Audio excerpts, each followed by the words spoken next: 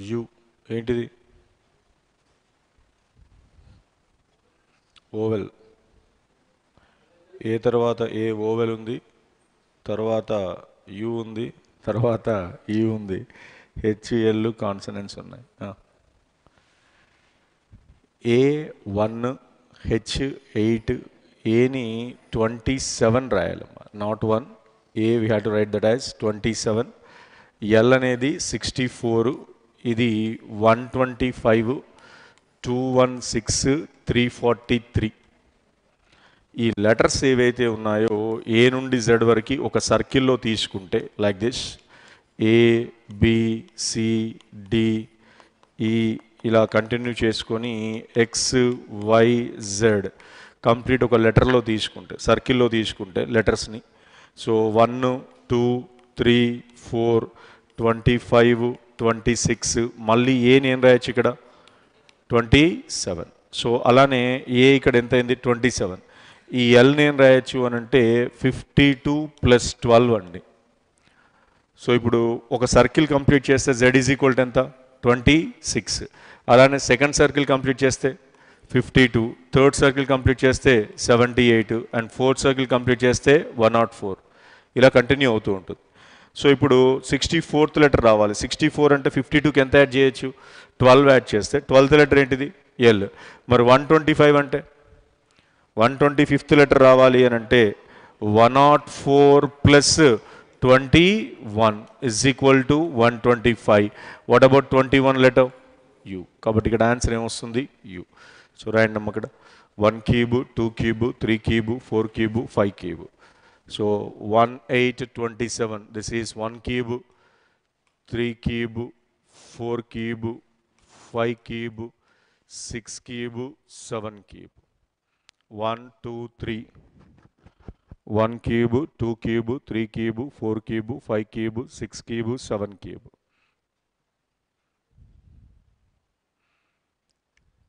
ఆ letter positions ఏవైతే ఉన్నాయో క్యూబ్ చేసి రాశారు అక్కడ. రైట్ జెడ్ యొక్క విలువలు అని రాయండమ్మా నెక్స్ట్ ఈ నెంబర్స్ మీకు ఐడియా ఉండాలి. కొన్ని సందర్భాల్లో నెంబర్ దాటుతాడు. జెడ్ యొక్క విలువలు ఇరవై ఆరు. నెక్స్ట్ దాని తర్వాత జెడ్ యొక్క విలువలు ఇరవై ఆరు యాభై రెండు డెబ్భై ఎనిమిది నూట నాలుగు. జెడ్ యొక్క విలువలు ఇరవై ఆరు యాభై రెండు డెబ్భై ఎనిమిది నూట నాలుగు నూట ముప్పై నూట ముప్పై ఇవన్నీ కూడా జెడ్ నెంబర్స్గా తీసుకోవచ్చు. జెడ్ యొక్క విలువలు అని చెప్పేసి ఇవి రాయండమ్మా ఇరవై ఆరు యాభై రెండు డెబ్బై ఎనిమిది నూట నాలుగు దాని తర్వాత కావాలంటే నూట ముప్పై రాసుకోవచ్చు. రైట్ నెక్స్ట్ నలభై రెండు Q forty nine P thirty six O twenty five N sixteen simple question Q forty nine Q forty nine P thirty six O twenty five N sixteen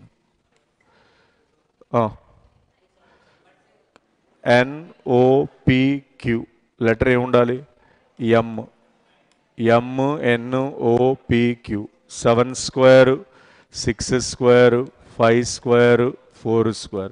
Next three square ఎంత? Nine. M nine అంటే answer ఏంటిది? Second option.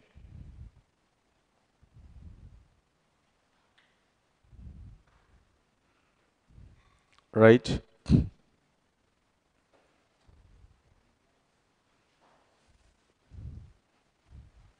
Forty three. 2Z5, 7Y7, 14, X9, 23, W1, 34, V13.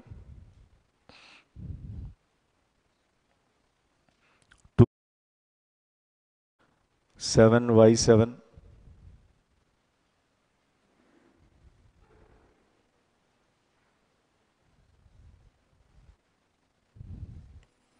two Z Y 7 y 7 14 x 9 23 w 1 34 v 13 ah 47 u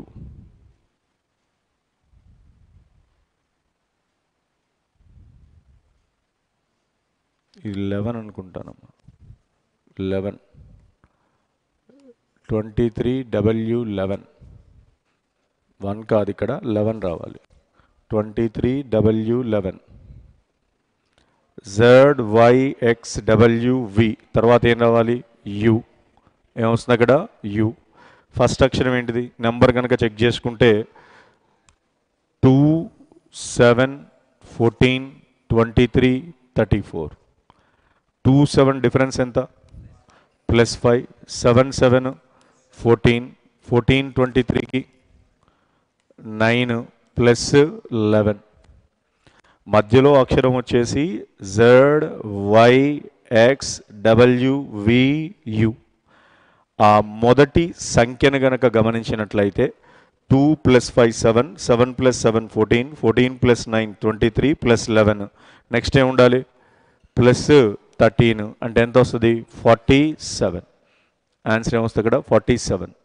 అదే మరి next number కనుక check చేస్తే five seven plus two seven nine plus two nine eleven plus two eleven thirteen plus two. Thirteen plus two ఎంత? Fifteen. కాబట్టి ఇక్కడ answer ఏమవుతుంది? Fifteen. Forty seven U fifteen. ఎక్కడుంది answer? Second option.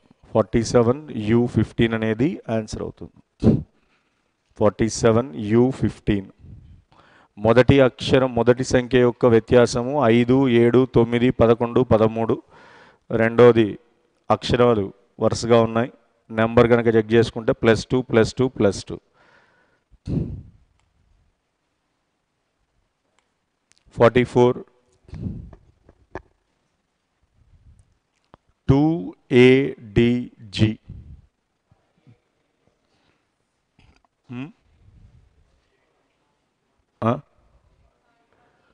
Forty eight? ఆరు ఆరులు ఏడు ఏళ్ళు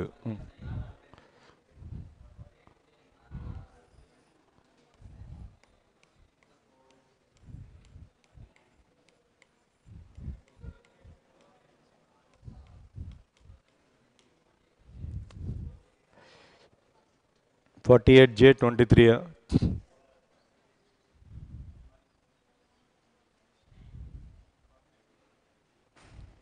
Two A eleven four D thirteen question తీసుకోండి two A eleven four D thirteen twelve G seventeen twelve G seventeen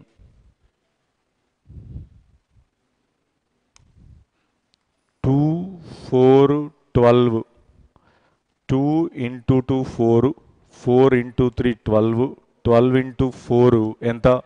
forty eight ఎంత వస్తుంది అక్కడ? Forty eight. అదే ఇప్పుడు నెక్స్ట్ కనుక అబ్జర్వ్ చేస్తే ఏ అనేది ఎంత number? One D four G seven. One plus three seven. Sorry four. Four plus three seven. Seven plus three ఎంత?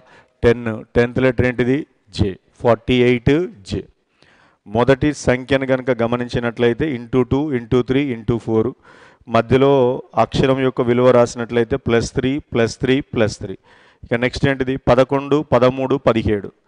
సో బేసిక్గానైతే అవి ప్రధాన సంఖ్యలండి. పదకొండు పదమూడు పదిహేడు. తర్వాత పంతొమ్మిది అనేది రావాలి. బట్ ఇక్కడ నెంబర్లు కనుక చూస్తే ఫార్టీ ఎయిట్ జే తోటి నైన్టీన్ అనే నెంబర్ లేదు. కానీ ఇదే ప్రధాన సంఖ్యల్ని కనుక గమనించినట్లయితే పదకొండు పదమూడు మధ్య వ్యత్యాసం ఎంత ప్లస్ రెండు పదమూడు పదిహేడు మధ్య నాలుగు. ఈ పదిహేడుకి ప్లస్ ఆరు కలిపితే ఎంత? ఇరవై మూడు. అంటే ఏమొస్తుంది? డబ్ల్యూ. ఫార్టీ ఎయిట్ జేడబ్ల్యూ అనేది ఆన్సర్ అవుతుందమ్మా. Forty eight JW. ప్రధాన సంఖ్యలు కాకుండా plus two plus four plus సిక్స్గా వ్యత్యాసం తీసుకోండి. రెండు నాలుగు ఆరు. ప్లస్ రెండు ప్లస్ నాలుగు ప్లస్ ఆరు. Forty eight J twenty three ఈ మొదటి అక్షరమేమో ఇంటూ రెండు ఇంటూ మూడు ఇంటూ నాలుగు. మధ్యలో అక్షరం వ్యత్యాసం వచ్చేసి ప్లస్ త్రీ ప్లస్ త్రీ ఈ నెంబర్ల వ్యత్యాసం వచ్చేసి ప్లస్ రెండు ప్లస్ నాలుగు ప్లస్ ఆరు. నెక్స్ట్ రసర. నలభై ఐదు. Direct question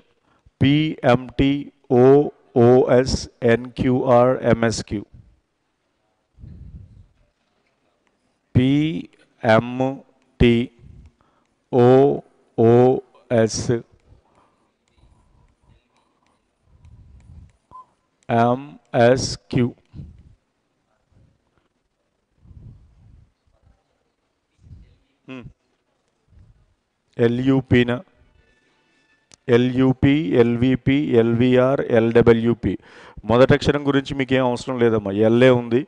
లాస్ట్ అక్షరం గురించి కూడా అవసరం లేదు. పి ఉంది. మధ్యలో అక్షరమే ఇంపార్టెంట్ మధ్యలో నెంబర్ ఒకటి ఇంపార్టెంట్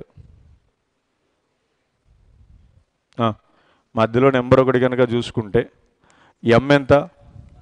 పదమూడు. ఓ పదిహేను. క్యూ పదిహేడు. ఎస్ పంతొమ్మిది. పదమూడు పదిహేను పదిహేడు పంతొమ్మిది. ఏంటివవి? బేసి సంఖ్యలు ప్లస్ రెండు ప్లస్ రెండు ప్లస్ రెండు వ్యత్యాసం అనుకోవచ్చు. పంతొమ్మిది తర్వాత వచ్చే నెక్స్ట్ నెంబరు ఇరవై ఒకటి ఇరవై ఒకటో అక్షరం యు. ఇరవై ఒకటో అక్షరం ఏంటి దగ్గర? యు. సో మిడిల్లో యు ఉండాలి. ఆప్షన్ ఏముంది ఫస్ట్ ఆప్షన్. పి ఎంత? పదహారు పదిహేను పద్నాలుగు పదమూడు పన్నెండు. పన్నెండో అక్షరం ఎల్ మొదటి అక్షరాల మధ్య వ్యత్యాసం మైనస్ ఒకటి ఉంది. పదహారు మైనస్ ఒకటి పదిహేను పదిహేను మైనస్ ఒకటి పద్నాలుగు పద్నాలుగు మైనస్ ఒకటి పదమూడు మైనస్ ఒకటి పన్నెండు.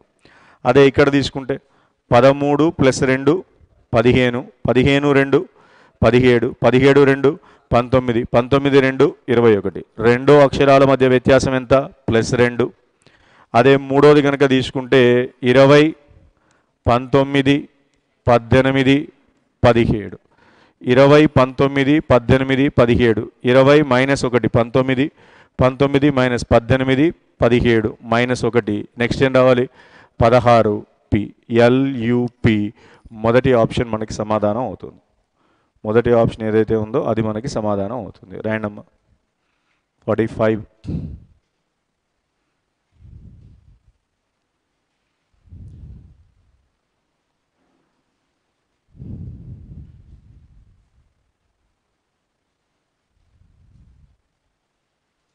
McLaren. Next, ACF HJM OQT. ACF HJM OQT.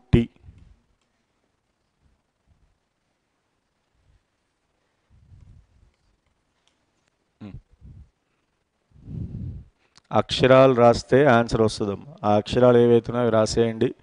Link దొరుకుతుంది. ACF HJM OQT ACF HJM OQT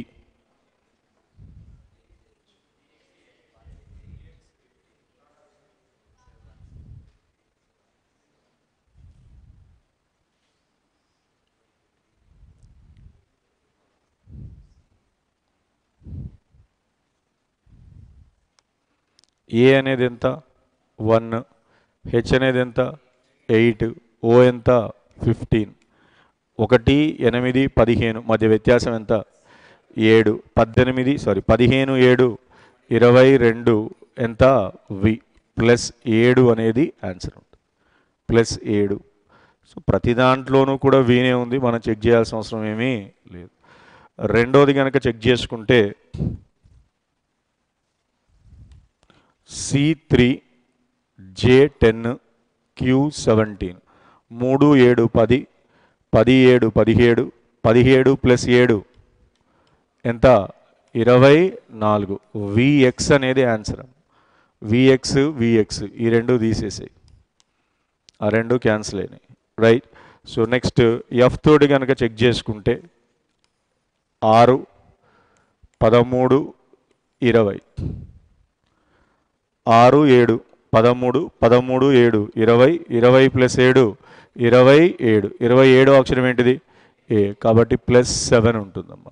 So VX A. Third option అనేది ఆన్సర్ అవుతుంది. Plus seven plus seven plus seven. ప్రతి అక్షరం కూడా ఏడు ఏడు ఏడు కలుస్తుంది. Plus seven plus seven plus seven. VX A. clear enough plus 7 plus 7 plus 7 next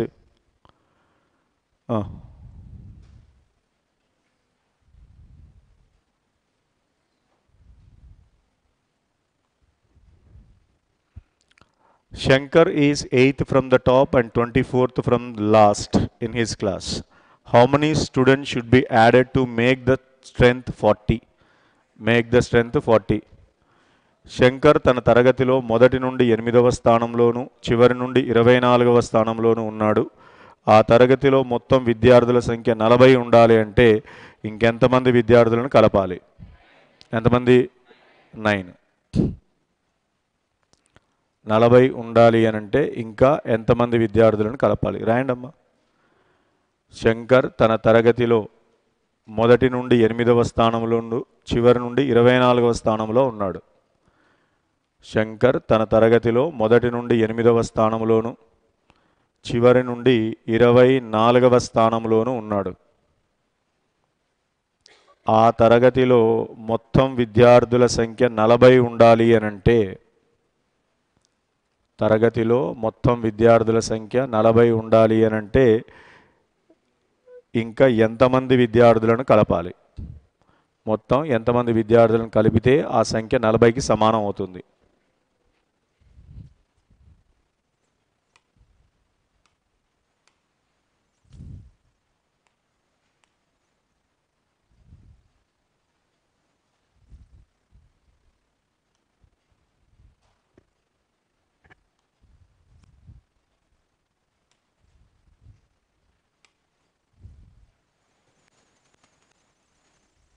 right Shankar తన స్థానములు మొదటి స్థానంలో మొదటి నుండి ఎనిమిదవ స్థానం మొదటి నుండి ఎన్నో స్థానం? ఎనిమిదవ స్థానం. కింది నుండి ఎన్నో స్థానం? ఇరవై నాలుగవ స్థానం. సో మొత్తం ఇచ్చిన ర్యాంకుల ప్రకారం ఆలోచిస్తే ఈ స్థానంలో శంకర్ అనే వ్యక్తి ఉన్నాడండి.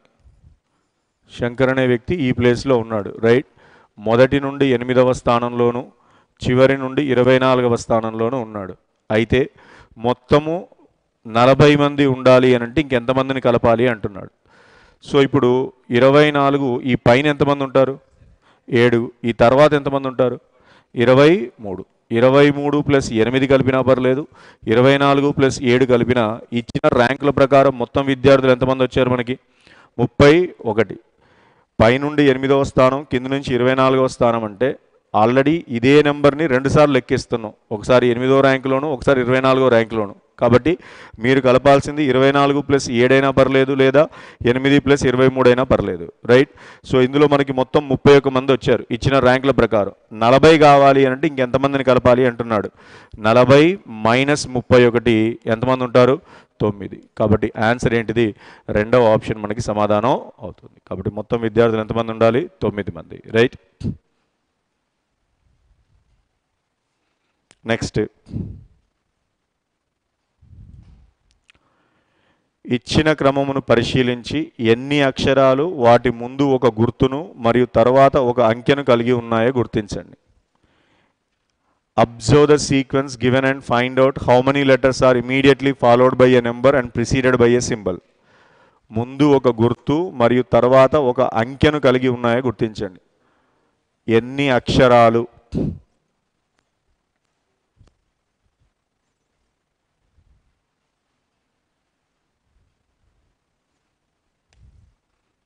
అక్షరానికి ముందు గుర్తుండాలి తర్వాత ఒక అంకె ఉండాలి. ఎలా ఎన్ని ఉన్నాయని అడిగాడమ్మా.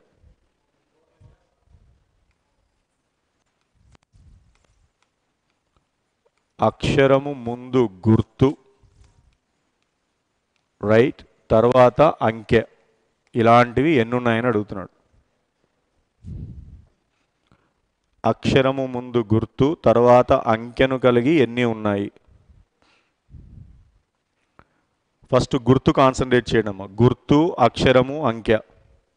ఫస్ట్ ఏమొస్తుంది ఇక్కడ? Star K five star N three. Next. Question mark P four. Next. Star L M వస్తుందా? రాదు. Percentage N four. ఏమొస్తుంది అక్కడ? Percentage N four. ఒక గుర్తు అక్షరము అంకె. గుర్తు అక్షరము అంకె. గుర్తు అక్షరము అంకె. గుర్తు అక్షరము అంకె. కాబట్టి ఏం రావాలి అక్కడ? ఒకటి రెండు మూడు నాలుగు. సో నాలుగు అంటే ఆప్షన్ ఏంటిది? Third option. మూడో ఆప్షన్ సమాధానం అవుతుంది.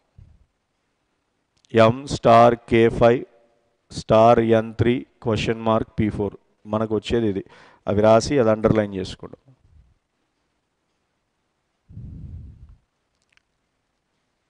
ఎన్ని అక్షరాలు వాటి ముందు ఒక గుర్తును. అక్షరాల ముందు గుర్తుండాలి తర్వాత అంకె ఉండాలి. అలాంటివి ఎన్ని ఉన్నాయని అడుగుతున్నాడు. అక్షరాల ముందు గుర్తు తర్వాత అంకె.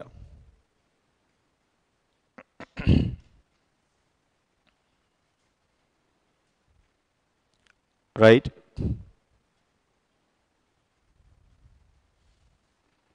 నెక్స్ట్. ఏదో చేస్తారు ఇది.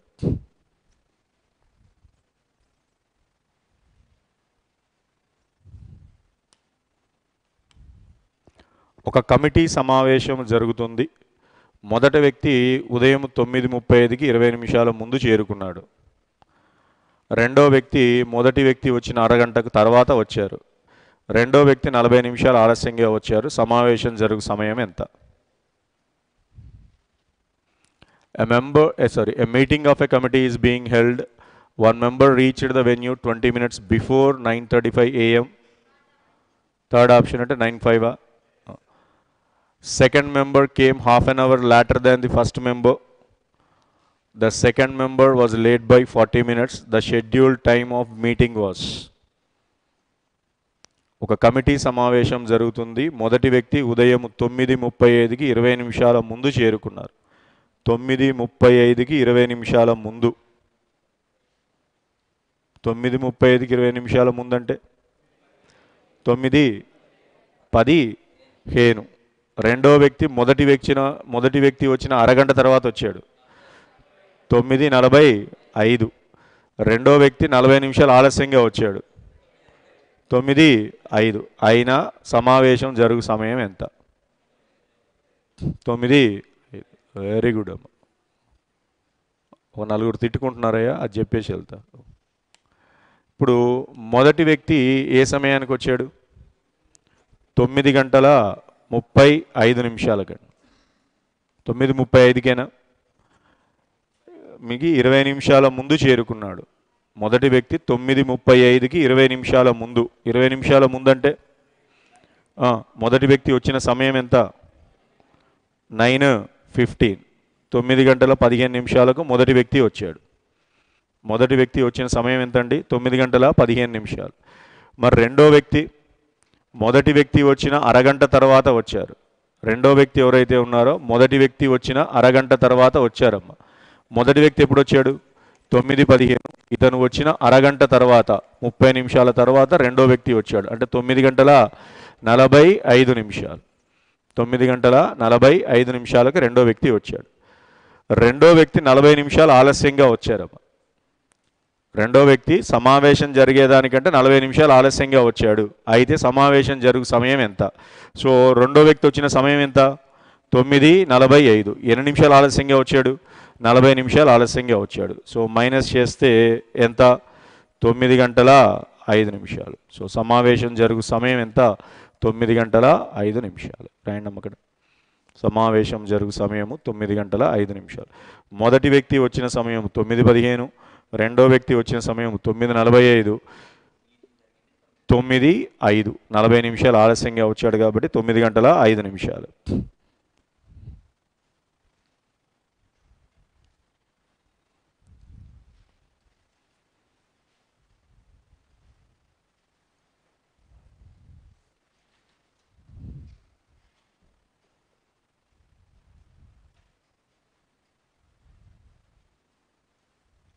రైట్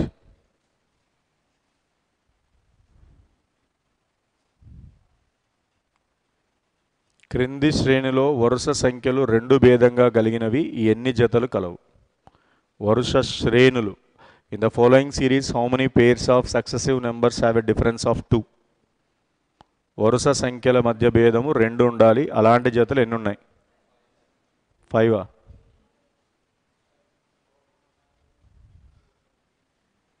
అందులో ఫోర్ అనే నెంబర్ ఉంది ఫైవ్ అనే నెంబర్ ఉంది త్రీ అనే నెంబర్ ఉంది సిక్స్ అనే నెంబర్ ఉంది. In the following series how many pairs of successive number వరుస సంఖ్యలు రెండు భేదంగా కలిగినవి.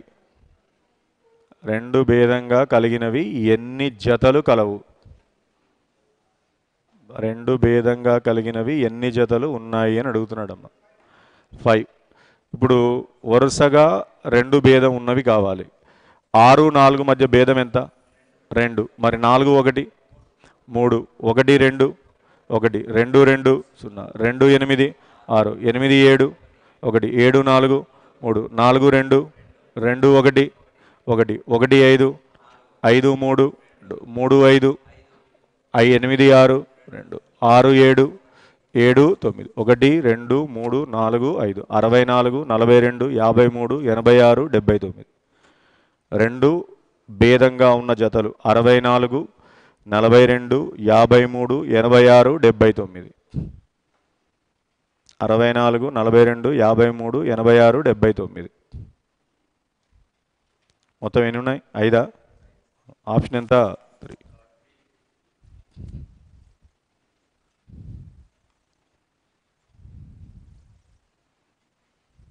ఇంత ముందు క్వశ్చన్ ఏనమ్మా?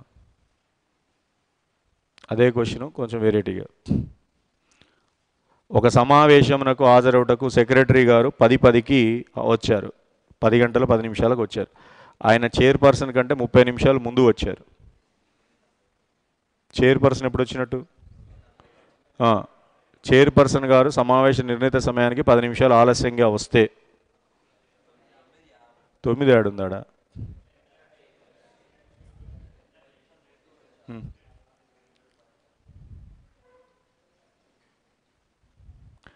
ఒక సమావేశనమును హాజరవుటకు సెక్రటరీ గారు పది గంటల పది నిమిషాలకు వచ్చారు. ఆయన ఏ సమయానికి వచ్చారు? పది పదికి వచ్చారు. ఆయన చైర్పర్సన్ కంటే ముప్పై నిమిషాలు ముందు వచ్చారమ్మ. ముప్పై నిమిషాలు ముందుకు వచ్చారు. ముందంటే చైర్పర్సన్ కంటే ముందు వచ్చారు. చైర్పర్సన్ వచ్చిన సమయం ఎప్పుడు? పది పదికి ఎవరు వచ్చారు సెక్రటరీ వచ్చారు. ఆయన ఆయన అంటే ఎవరు? సెక్రటరీ. ఎక్కడన్నా చైర్పర్సన్ ముందొస్తాడా సెక్రటరీ ముందు వస్తాడా బేసిక్ కాన్సెప్ట్స్ ప్రకారం చైర్పర్సన్ ముందు వస్తాడా సెక్ర సెక్రటరీ ముందు వస్తాడా సెక్రటరీ ముందు వస్తాడు సెక్రటరీ పది పదికి వచ్చారు. ఆయన అంటే సెక్రటరీ చైర్పర్సన్ కంటే ముప్పై నిమిషాల ముందు వచ్చారంటే చైర్పర్సన్ వచ్చింది ఎప్పుడు? పది గంటల నలభై నిమిషాలకు. చైర్పర్సన్ ఎప్పుడు వచ్చాడు? పది గంటల నలభై నిమిషాలకు. చైర్పర్సన్ గారు సమావేశ నిర్ణీత సమయానికి పది నిమిషాలు ఆలస్యంగా వచ్చాడు. పది గంటల నలభై నిమిషాలకు పది నిమిషాలు ఆలస్యంగా వచ్చాడు. అంటే పది గంటల ముప్పై నిమిషాలు. కాబట్టి సమయం ఎప్పుడమ్మా? పది గంటల ముప్పై నిమిషాలు. అయ్యా జాగ్రత్తగా చూడండి. సెక్రటరీ వచ్చిన సమయం ఎంత? పది గంటల పది నిమిషాలు. సెక్రటరీ వచ్చిన సమయం ఎంత? పది గంటల పది నిమిషాలు. రైట్. మరి చైర్పర్సన్ వచ్చిన సమయం? చైర్పర్సన్ వచ్చిన సమయం సెక్రటరీ వచ్చిందేమో పది పదికి. రైట్? చైర్పర్సన్ ముప్పై నిమిషాల తర్వాత వచ్చాడు. సెక్రటరీ వచ్చిన ముప్పై నిమిషాల తర్వాత చైర్పర్సన్ వచ్చాడు. ప్లస్ ముప్పై నిమిషాలు కలిపితే పది నలభైకి ఎవరు వచ్చారు చైర్పర్సన్ వచ్చారు. పది నలభైకి ఎవరు వచ్చారు చైర్పర్సన్ వచ్చారమ్మ. రైట్? ఈ చైర్పర్సన్ ఎన్ని నిమిషాలు ఆలస్యంగా? పది నిమిషాలు ఆలస్యంగా వచ్చారు. కాబట్టి మైనస్ పది నిమిషాలు. మొత్తం కలిపితే పది గంటల ముప్పై నిమిషాలు. ఇప్పుడు సమాధానం ఏంటిది? పది ముప్పై నిమిషాలకి పర్సన్ వస్తారు. మా క్లియర్ అయినా? నెక్స్ట్.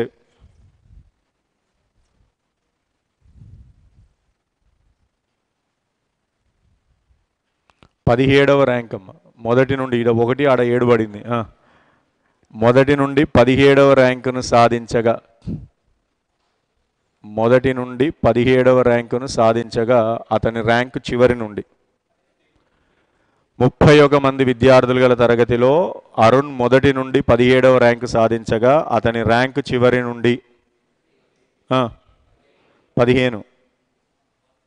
One five. మొత్తం విద్యార్థులు ఎంతమంది ఉన్నారు? ముప్పై ఒకటి. మొత్తం విద్యార్థులు ఎంతమంది అమ్మా? ముప్పై ఒక విద్యార్థులు ఉన్నారు. ముప్పై ఒక విద్యార్థుల్లో మొదటి నుండి వ్యక్తి ఎన్నో ర్యాంక్ సాధించాడు? పదిహేడవ ర్యాంక్ సాధించాడు. పదిహేడవ ర్యాంక్ సాధించాడు. అయితే అతని ర్యాంక్ చివరి నుండి ఎన్నోది అని అడుగుతున్నారండి. పదిహేడు బోతికి తర్వాత ఎంతమంది ఉంటారు? పద్నాలుగు మంది ఉంటారు. ఈ పద్నాలుగు మనం కలపాల్సింది ఎంత? ఒకటి. కాబట్టి ఎన్నో ర్యాంక్ అవుతుంది? పదిహేనో ర్యాంక్ అవుతుంది. ముప్పై ఒక మంది విద్యార్థులు గల తరగతిలో పై నుండి ఎవరైనా అరుణ్ యొక్క ర్యాంక్ పదిహేడవ ర్యాంక్ అన్నారమ్మా. పై నుండి పదిహేడవ ర్యాంకు అంటే కింద ఎంతమంది ఉంటారు? పద్నాలుగు. పద్నాలుగు ప్లస్ మళ్ళీ అదే వ్యక్తిని లెక్కించాలి కాబట్టి మొత్తం ఎన్నో ర్యాంక్ అవుతుంది? పదిహేను. కాబట్టి ఆప్షన్ ఏంటిది? టూ. ఆప్షన్ ఏంటి దగ్గర టూ. నెక్స్ట్. మళ్ళీ ఇదే ఇదో క్వశ్చన్ ఉంది. ఇది సింపుల్ క్వశ్చన్. వరుసలో నీవు అదే క్వశ్చన్ రివర్స్లో అడిగారు అంతే. వరుసలో నీవు ఒక చివరి నుండి తొమ్మిదవ స్థానంలో మరియు ఇంకొక చివరి నుండి పదకొండవ స్థానంలో ఉన్నావు. వరుసలో ఉన్న మొత్తం వ్యక్తులు ఎంతమంది? ఒక చివరి నుండి ఒక చివరి నుండి తొమ్మిదవ స్థానంలో ఇంకో చివరి నుండి పదకొండవ స్థానంలో ఉంటే వరుసలో మొత్తం ఎంతమంది ఉన్నారు? ఎంతమంది? పంతొమ్మిది. ఒక చివర నుండి తొమ్మిదవ స్థానంలో ఇంకో చివర నుండి పదకొండవ స్థానంలో ఉన్నాం. రెండు కూడా ఇవే లెక్క పెట్టాం. సో తొమ్మిది అని అంటే ఇటువైపు ఎంతమంది ఉంటారు? ఎనిమిది. ఈ ముందు ఎంతమంది ఉంటారు? పది. పది ప్లస్ తొమ్మిది పంతొమ్మిది. పదకొండు ప్లస్ ఎనిమిది పంతొమ్మిది. కాబట్టి మొత్తం ఆ వరుసలో ఉన్న విద్యార్థులు ఎంతమంది? పంతొమ్మిది. ఎంతమంది ఉంటారు అక్కడ? పంతొమ్మిది. వరుసలో ఒక చివర నుండి తొమ్మిదవ స్థానంలో ఇంకో చివరి నుండి పదకొండవ స్థానంలో ఉంటే పదకొండు ప్లస్ ఎనిమిది పంతొమ్మిది పది ప్లస్ ఎలా చేసినా పర్లేదు. తొమ్మిది ప్లస్ పది పంతొమ్మిది. రైట్? ఎలా రాసినా కానీ మొత్తం విద్యార్థులు ఎంతమంది వస్తారు అక్కడ? పంతొమ్మిది. రైట్?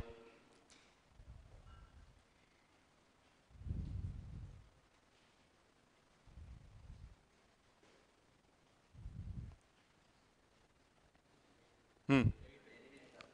ఒక సంఖ్య నాలుగు కంటే పెద్దది మరియు తొమ్మిది కంటే చిన్నది. అదే సంఖ్య ఏడు కంటే పెద్దది మరియు పదకొండు కంటే చిన్నది అయినా ఆ సంఖ్య. నాలుగు కంటే పెద్దది మరియు తొమ్మిది కంటే చిన్నది. నాలుగు కంటే పెద్దదంటే? ఐదు ఆరు ఏడు ఎనిమిది. అదే సంఖ్య ఏడు కంటే పెద్దది మరియు పదకొండు కంటే చిన్నది. ఏడు కంటే పెద్ద అంటే ఎనిమిది తొమ్మిది పది. ఎనిమిది తొమ్మిది పది. ఒక సంఖ్య నాలుగు కంటే పెద్ద నాలుగు కంటే పెద్ద తొమ్మిది కంటే చిన్న. అంటే మనం తీసుకోవాల్సిన నెంబర్ ఏంటిది? ఐదు ఆరు ఏడు ఎనిమిది. అదే సంఖ్య ఏడు కంటే పెద్ద పదకొండు కంటే చిన్న. ఏడు కంటే పెద్ద అంటే ఏ నెంబరు ఎనిమిది నుంచి మొదలు పెట్టాలి పదకొండు కంటే చిన్న పది వరకు ఆగాలి. ఈ రెండింటిలో ఉన్న ఉమ్మడి సంఖ్య ఎంత? ఎనిమిది. కాబట్టి మీ ఆన్సర్ ఎంతమ్మా? ఎనిమిది. ఆన్సర్ ఏమవుతుంది అక్కడ? ఎనిమిది. రైట్ ఇంకా అయిపోయినాయి అనుకుంటా. ఇంకోటి ఉంది అదే క్వశ్చన్. ఒడసలవి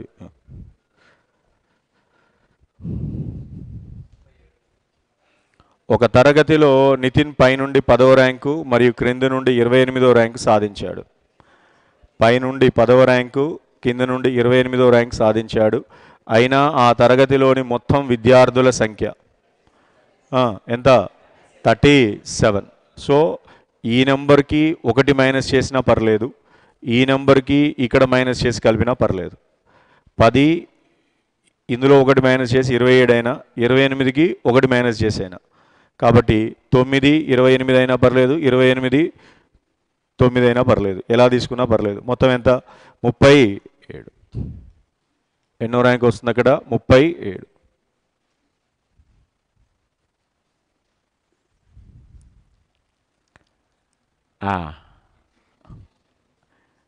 చల్లబడ్డారు ఇక. ఈ క్రింది పదాలను డిక్షనరీ క్రమంలో అమర్చండి.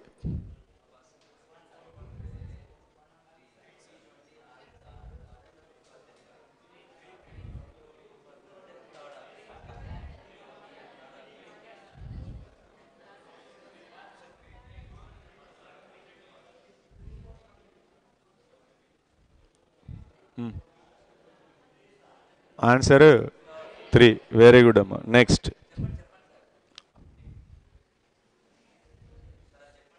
పర్లేదమ్మా one next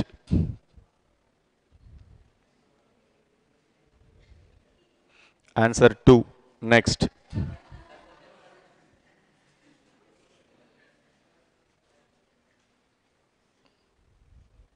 answer three next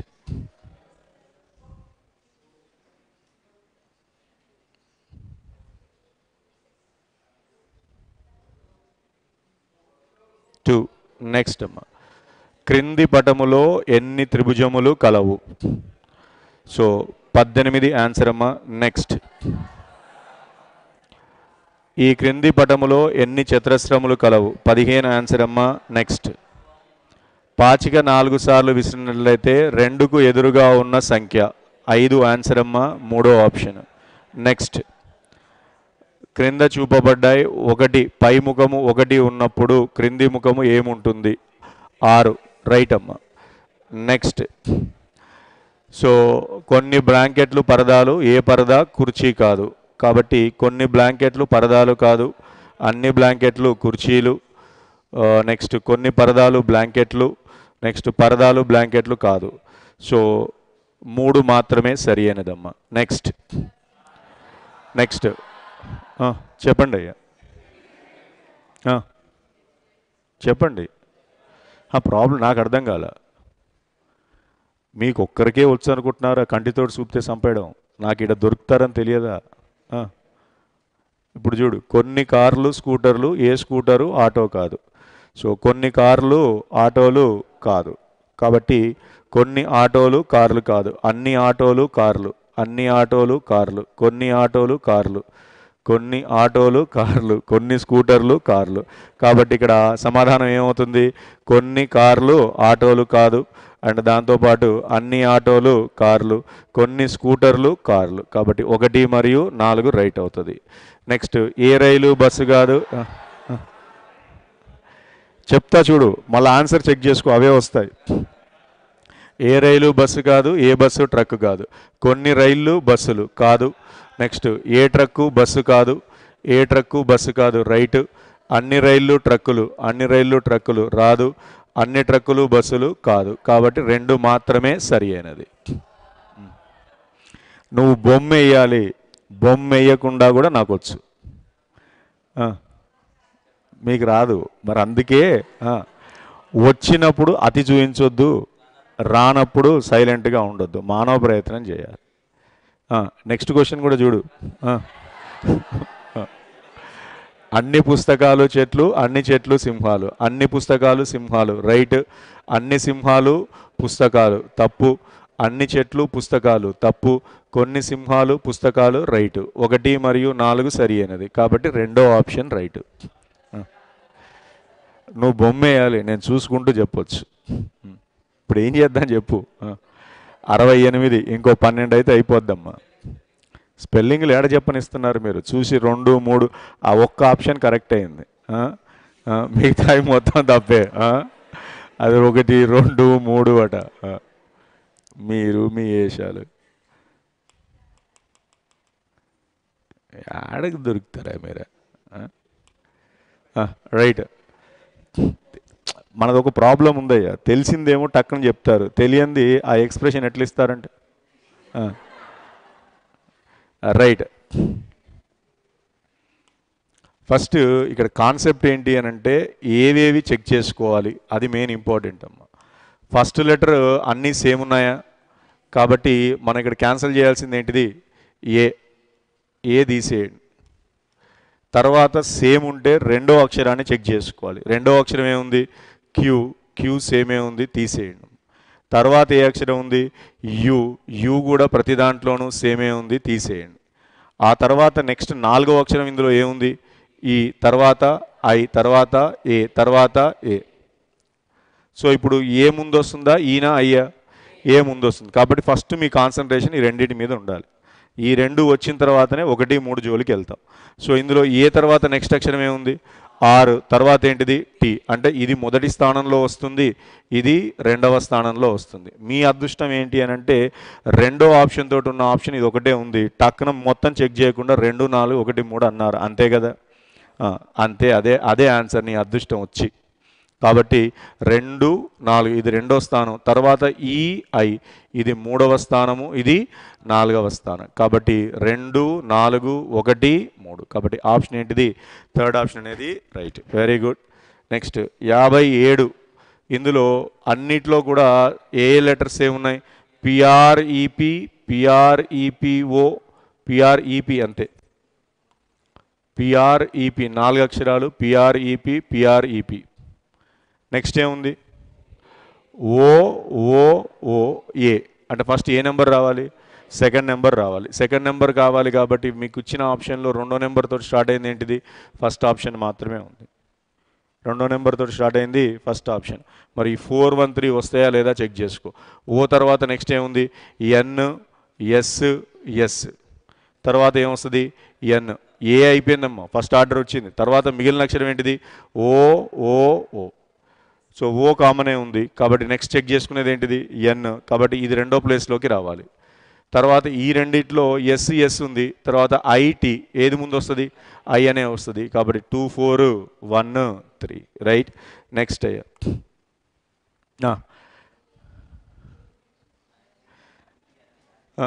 దేని పరిస్థితి ఏంది? స్టార్టింగ్ లెటర్ ఏముంది? A A A A M N రెండు ఉన్నాయమ్మ. అంటే ఈ రెండు నీకు ఏ ప్లేస్లోకి వస్తాయి? లాస్ట్ రెండు ప్లేసుల్లో ఉంటుంది. లాస్ట్ రెండు ప్లేస్లో నాలుగు ఐదు ఒకటి ఒకటి ఉంది. ఒకటి ఒకటి ఉండడానికి ఛాన్స్ ఉందా? చివర్లో ఒకటి అనేది రావడానికి ఛాన్స్ ఉందా? లేదు. అయితే నాలుగో నెంబర్ అయినా ఉండాలి ఐదో నెంబర్ అయినా ఉండాలి. ఏ ఎన్ తర్వాత ఏముంది? ఎన్ఐఎం ఏ. ఎన్ఐఎం ఏ. ఏ తర్వాత ఏముంది ఇక్కడ? ఎల్ ఇక్కడ ఏముంది టీ ఎల్ ముందు వస్తుందా టీనా ఎల్ కాబట్టి లాస్ట్ ఆప్షన్ ఏంటిది? ఫైవ్ కాబట్టి నీకు ఏం రావాలి answer three two four one five three two four one five third ఆప్షనా third ఆప్షనా ఫోర్త్ ఆప్షనా ఎందుకు?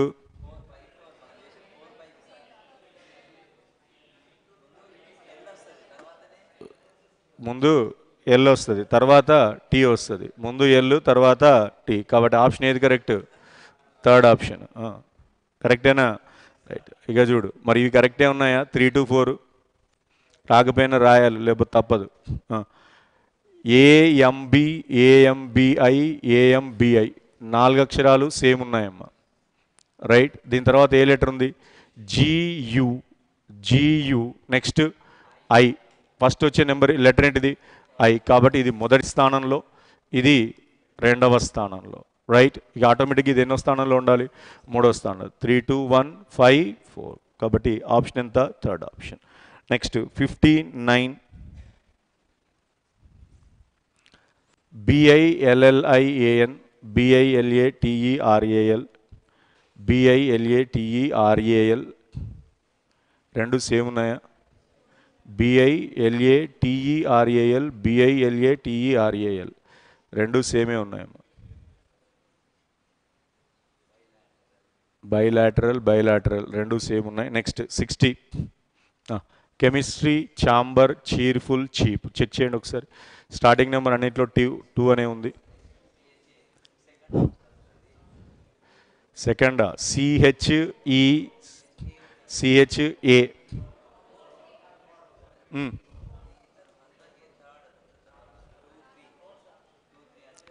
first ఏ లెటర్ వస్తుంది. C H C H C H C H M right next A A అంటే ఏంటిది ఇది? ఫస్ట్ ప్లేస్లో ఉంటుంది. ఏ ప్లేస్లో ఉంటుంది ఫస్ట్ ప్లేస్లో నెక్స్ట్ నెక్స్ట్ ఏముండాలి ఉండాలి? ఈ ఈలో నెక్స్ట్ వచ్చేది ఏంటిది? ఏ. సో టూ త్రీ తోటి ఉండాలి. టూ త్రీ అంటే ఆప్షన్ ఏముంది ఇక్కడ? Fourth option. టూ త్రీ అంటే ఆప్షన్ ఏంటిది? Fourth option. రైట్? సో ఒక్క నిమిషం అమ్మ.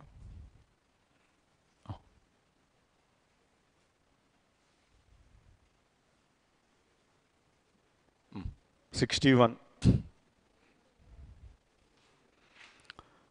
ఒకసారి ఇది ఆఫ్ చేసి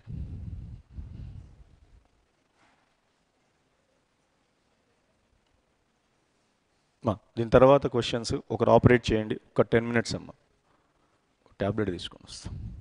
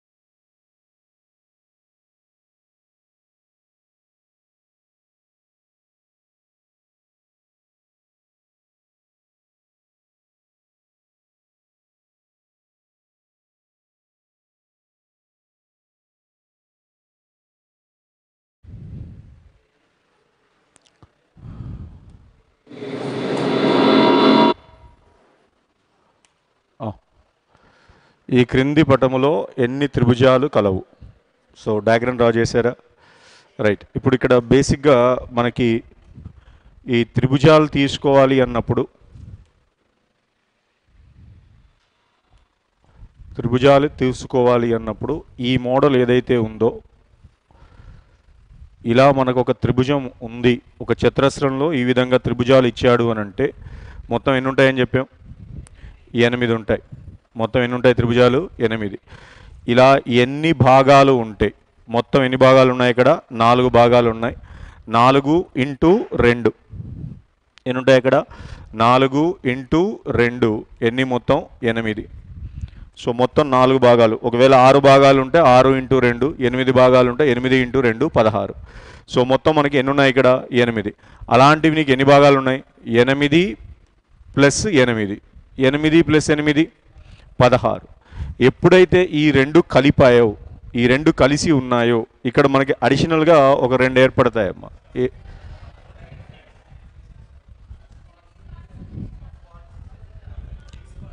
సిక్స్ పార్ట్స్ ఉన్నాయా? రైట్ ఒకటి రెండు మూడు నాలుగు ఐదు ఆరు. సో మొత్తం ఎన్ని వస్తాయి మనకి అక్కడ పన్నెండు. ఇక్కడ ఎన్ని ఉంటాయి?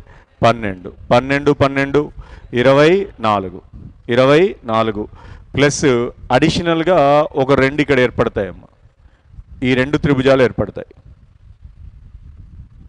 రైట్ ఈ రెండు అడిషనల్గా మీకు ఏర్పడతాయి.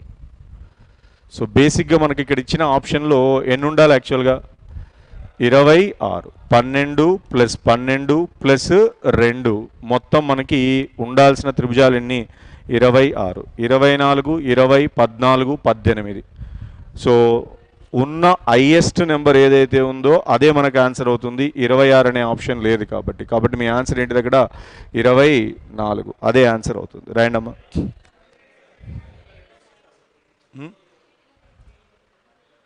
ఏంటిది అది? మధ్యలో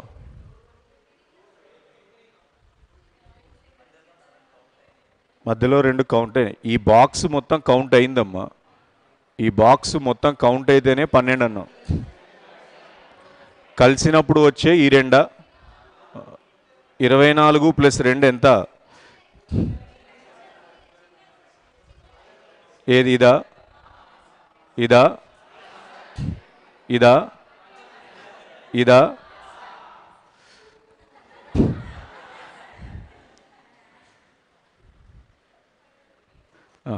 హైయెస్ట్ నెంబర్ ఏదైతే ఉందో అదే నెంబర్ అమ్మ. ఇరవై నాలుగు ఆన్సర్ రాసుకో. అక్కడ కాన్సెప్ట్ అది. ఎందుకంటే ఈ అడిషనల్గా యాడ్ చేయాల్సినవి మనకు అక్కడ తీసుకోలేదు. రైట్ సో పన్నెండు పన్నెండు ఇరవై నాలుగునే తీసుకున్నారు. అదే మనకి ఆన్సర్ అవుతుంది. రాయండి అమ్మ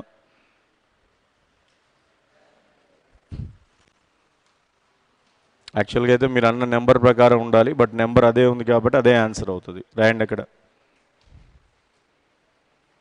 ఇరవై నాలుగు.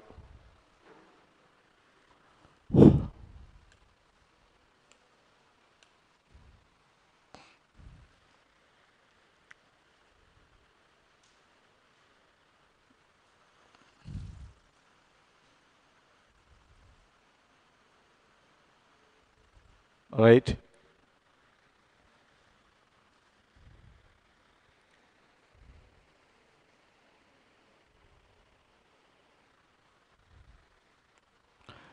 క్రింది పటములో ఎన్ని చతురస్రాలు కలవు? ఎన్ని చతురస్రాలు కలవు? అన్నిటికీ ఆన్సర్లు ఇచ్చినట్టున్నాం కదా? అవి కూడా తప్ప ఆన్సర్లు ఇచ్చావు. భలే ఉంటుంది. సో చతురస్రాలలో రెండు బై రెండు అడ్డు వరుసలు నిలువు వరుసలు సమానంగా ఉన్నప్పుడు రెండు అడ్డు వరుసలు రెండు నిలువు వరుసలు సమానంగా ఉన్నప్పుడు సో ఒక చతురస్రం ఇలా ఉందనుకోండి అమ్మ. మొత్తం మనకి ఎన్ని చతురస్రాలు ఏర్పడతాయి? ఒకటి రెండు మూడు నాలుగు అసలు ఒకటి కలుపుకొని ఐదు. మొత్తం ఏర్పడే చతురస్రాలు ఎన్ని? ఐదు. సో ఇలాంటి బాక్సులు మీకు ఎన్ని ఉన్నాయి?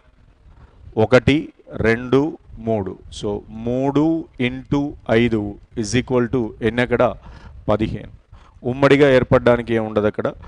ఈ లోపలి భాగం ఒక ఐదు బయటి భాగం ఒక ఐదు అవతలది ఒకటి ఐదు. మొత్తం కలిపి మూడు ఇంటూ ఐదు పదిహేను చతురస్రాలు ఉంటాయి. రాయండమ్మ ఆ బాక్స్ తీసుకొని ఇలా ఉంటే మొత్తం ఐదు చతురస్రాలు. ఒకటి రెండు మూడు నాలుగు అసలుది ఒకటి ఐదు. ఐదు ఇంటూ మొత్తం మూడు భాగాలు ఉన్నాయి కాబట్టి మూడు ఐదులు పదిహేను. మొత్తం పదిహేను చతురస్రాలు ఉంటాయి.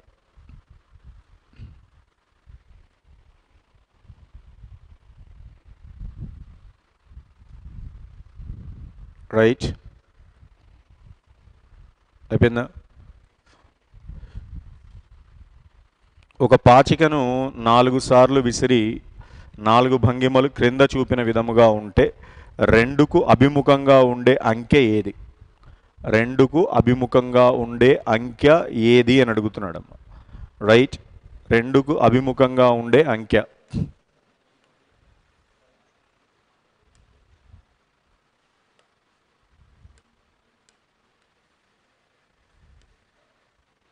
సో ఈ మోడల్ చేయడానికి బేసిక్గా మనకి ఏ నెంబర్కి అభిముఖంగా అడిగాడు? రెండు అనే నెంబర్కి అడిగాడు. సో రెండు అనే నెంబర్ ఎక్కడుందో చెక్ చేయండి. రెండు అనే నెంబర్ ఇక్కడ ఉందమ్మా పక్కతలాలు ఏమేమి ఉన్నాయి? ఆరు నాలుగు. అదే ఆరు నాలుగు ఇంకెక్కడన్నా ఉన్నాయా చూడండి. ఛాన్స్ ఉందా? లేదు. ఇక్కడ రెండు అనే నెంబర్ ఉంది. రెండుకు పక్కతలాలు ఏమున్నాయి? మూడు నాలుగు. ఇదే మూడు నాలుగు ఎక్కడైనా ఉందా చెక్ చేయండి. రెండో దాంట్లోనే ఉంది. మూడు నాలుగు. ఇలా రెండు పక్కతలాలు సమానంగా ఉన్నప్పుడు అంటే ఇందులో మూడు నాలుగు ఉమ్మడిగా ఉంది ఇందులో మూడు నాలుగు ఉమ్మడిగా ఉంటే మిగిలిన తలాలు ఏవైతే ఉన్నాయో అవే నీకు ఎదురెదురు తలాలు అవుతాయి. కాబట్టి దీన్ని మనం ఈ విధంగా రాయొచ్చమ్మ. మూడు నాలుగు సమాన అంటే ఏదేని రెండు పాచికలలో రెండు తలాలు ఒకే విధంగా ఉన్నట్లయితే మిగిలిన తలాలు ఏవైతే ఉన్నాయో అవి మనకు ఎదురెదురు తలాలు అవుతాయి. మిగిలిన తలాలు ఏవైతే ఉన్నాయో అవి మనకు ఎదురెదురు తలాలు అవుతాయి. అంటే ఈ రెండు పాచికల నుంచి మూడు నాలుగు మూడు నాలుగు రెండు కూడా ఒకే విధంగా ఉన్నాయి కాబట్టి మిగిలిన నెంబర్లు ఏవైతే ఉన్నాయో రెండు ఐదు మనకి ఎదురెదురుగా ఉంటాయి. రాయండమ్మ సో రెండుకి ఎదురుతలము ఏమవుతుంది అక్కడ? ఐదు. మూడో ఆప్షన్ మనకి సమాధానం అవుతుంది.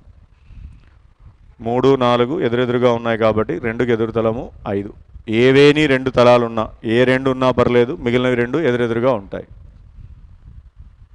ఈ రెండిట్లో మూడు నాలుగు. రెండు మూడు నాలుగు ఐదు మూడు నాలుగు. మూడు ఐదు నాలుగు. మూడు నాలుగు మూడు నాలుగు రౌండప్ చేయండి. రెండుకి ఎదురుదలం ఏమవుతుంది? ఐదు. రైట్. ఇక్కడ నెక్స్ట్.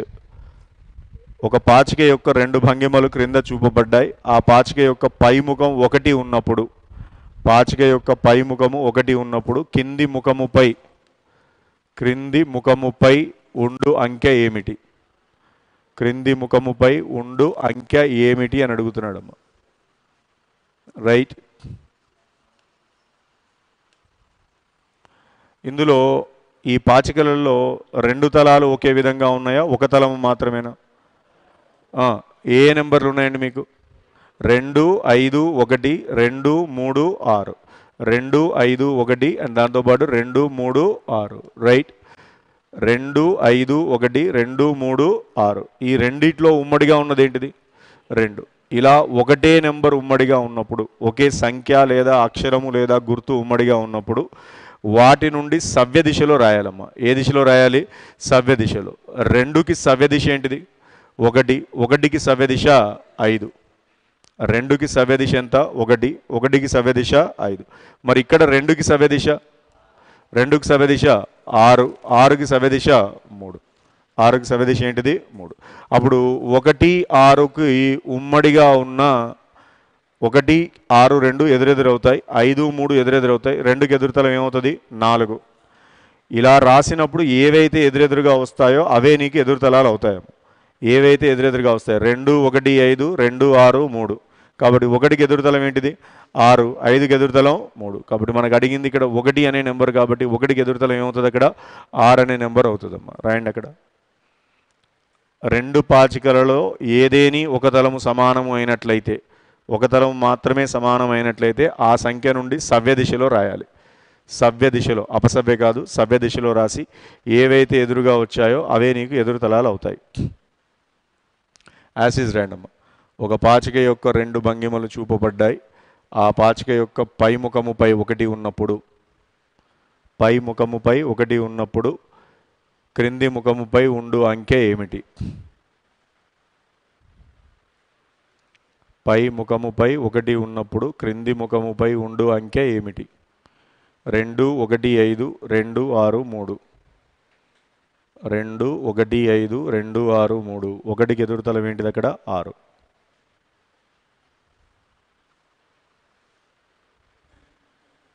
రైట్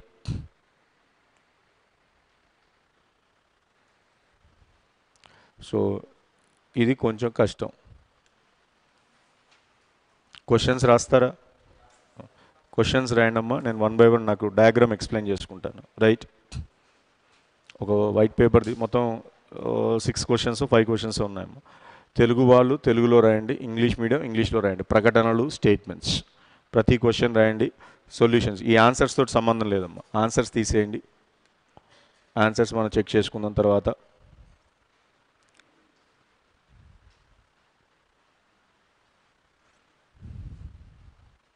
ఇందులో మీకు ఏమన్నా డౌట్ ఉంటే అడగొచ్చండి. చాలామంది కొన్ని కొన్ని డౌట్స్ ఉంటాయి.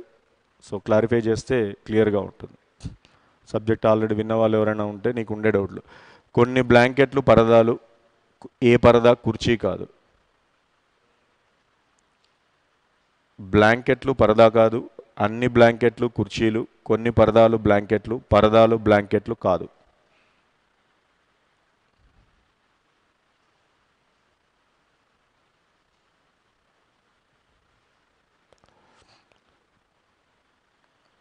కొన్ని బ్లాంకెట్లు పరదాలు ఏ పరదా కుర్చీ కాదు బ్లాంకెట్లు పరదా కాదు అన్ని బ్లాంకెట్లు కుర్చీలు కొన్ని పరదాలు బ్లాంకెట్లు పరదాలు బ్లాంకెట్లు కాదు.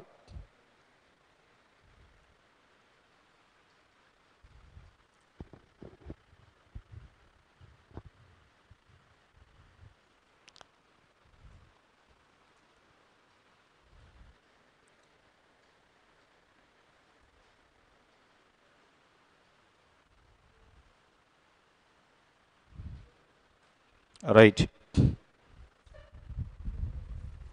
రైట్ ఇందులో బేసిక్గా మనకి నాలుగు పదాలు ఉంటాయమ్మా. రాశారండి? రాశారా? రైట్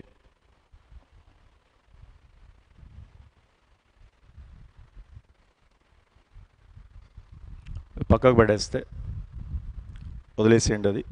దానికి వెళ్ళే ముందు ఈ నాలుగు పదాల మీనింగ్ కావాలి. అన్ని కొన్ని కాదు.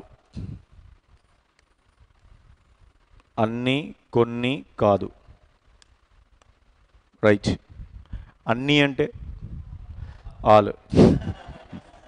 రైట్ అన్నీ. ఇప్పుడు బేసిక్గా అన్ని ఎక్సులు వైలు అంటాడు. అన్ని ఎక్సులు వైలు. అంటే ఎక్స్లు అన్నీ కూడా ఎందులో ఉండాలి? వైలో ఉండాలి. ఇప్పుడు బేసిక్గా మనం ఇలా డయాగ్రామ్ డ్రా చేస్తామమ్మా. ఎక్స్లు అన్నీ కూడా వైలు అని. మనకు నీట్గా డయాగ్రామ్ కావడానికి ఇలా డ్రా చేస్తాం కానీ ఇప్పుడు ఒక మనిషిలో మంచితనం ఉంది. ఒక మనిషిలో మంచితనం ఉంది. మంచితనం ఎందులో ఉంది? మనిషిలో ఉంది. ఎంత భాగం ఉంది? ఎంత భాగం ఉంది? మనిషిలో మంచితనం ఉంది అని అన్నాడు కానీ అది రవ్వంతుందా? బండలాగుందా? లేదంటే ఎంత అనేది నీకు చెప్పలేదు. అది మీ పరిస్థితిని బట్టి ఊహించుకోవడమే తప్ప సో ఒకసారి జాగ్రత్తగా చూడండి. ఎక్స్లన్నీ ఎందులో ఉన్నాయి? వైలో ఉన్నాయి. ఆ ఎక్స్ భాగం ఇలా సమానంగా ఉందా సగం ఉందా దాదాపు దగ్గరగా ఉందా లేదా ఒక చుక్కలాగా ఉందనేది మనకు సంబంధం లేదండి. అందులో ఏం ఉండాలి నీకు? ఎక్స్ ఉండాలి. ఎందులో ఉండాలి? వైలో ఉండాలి. వైలో ఎక్స్ ఎంత భాగం? నువ్వు ఊహించుకోకూడదు అది. అది సగం ఉండొచ్చు మూడు బై నాలుగో వంతు ఉండొచ్చు లేదంటే మొత్తం తొంభై శాతం ఉండొచ్చు లేదంటే ఒక శాతమైనా ఉండొచ్చు.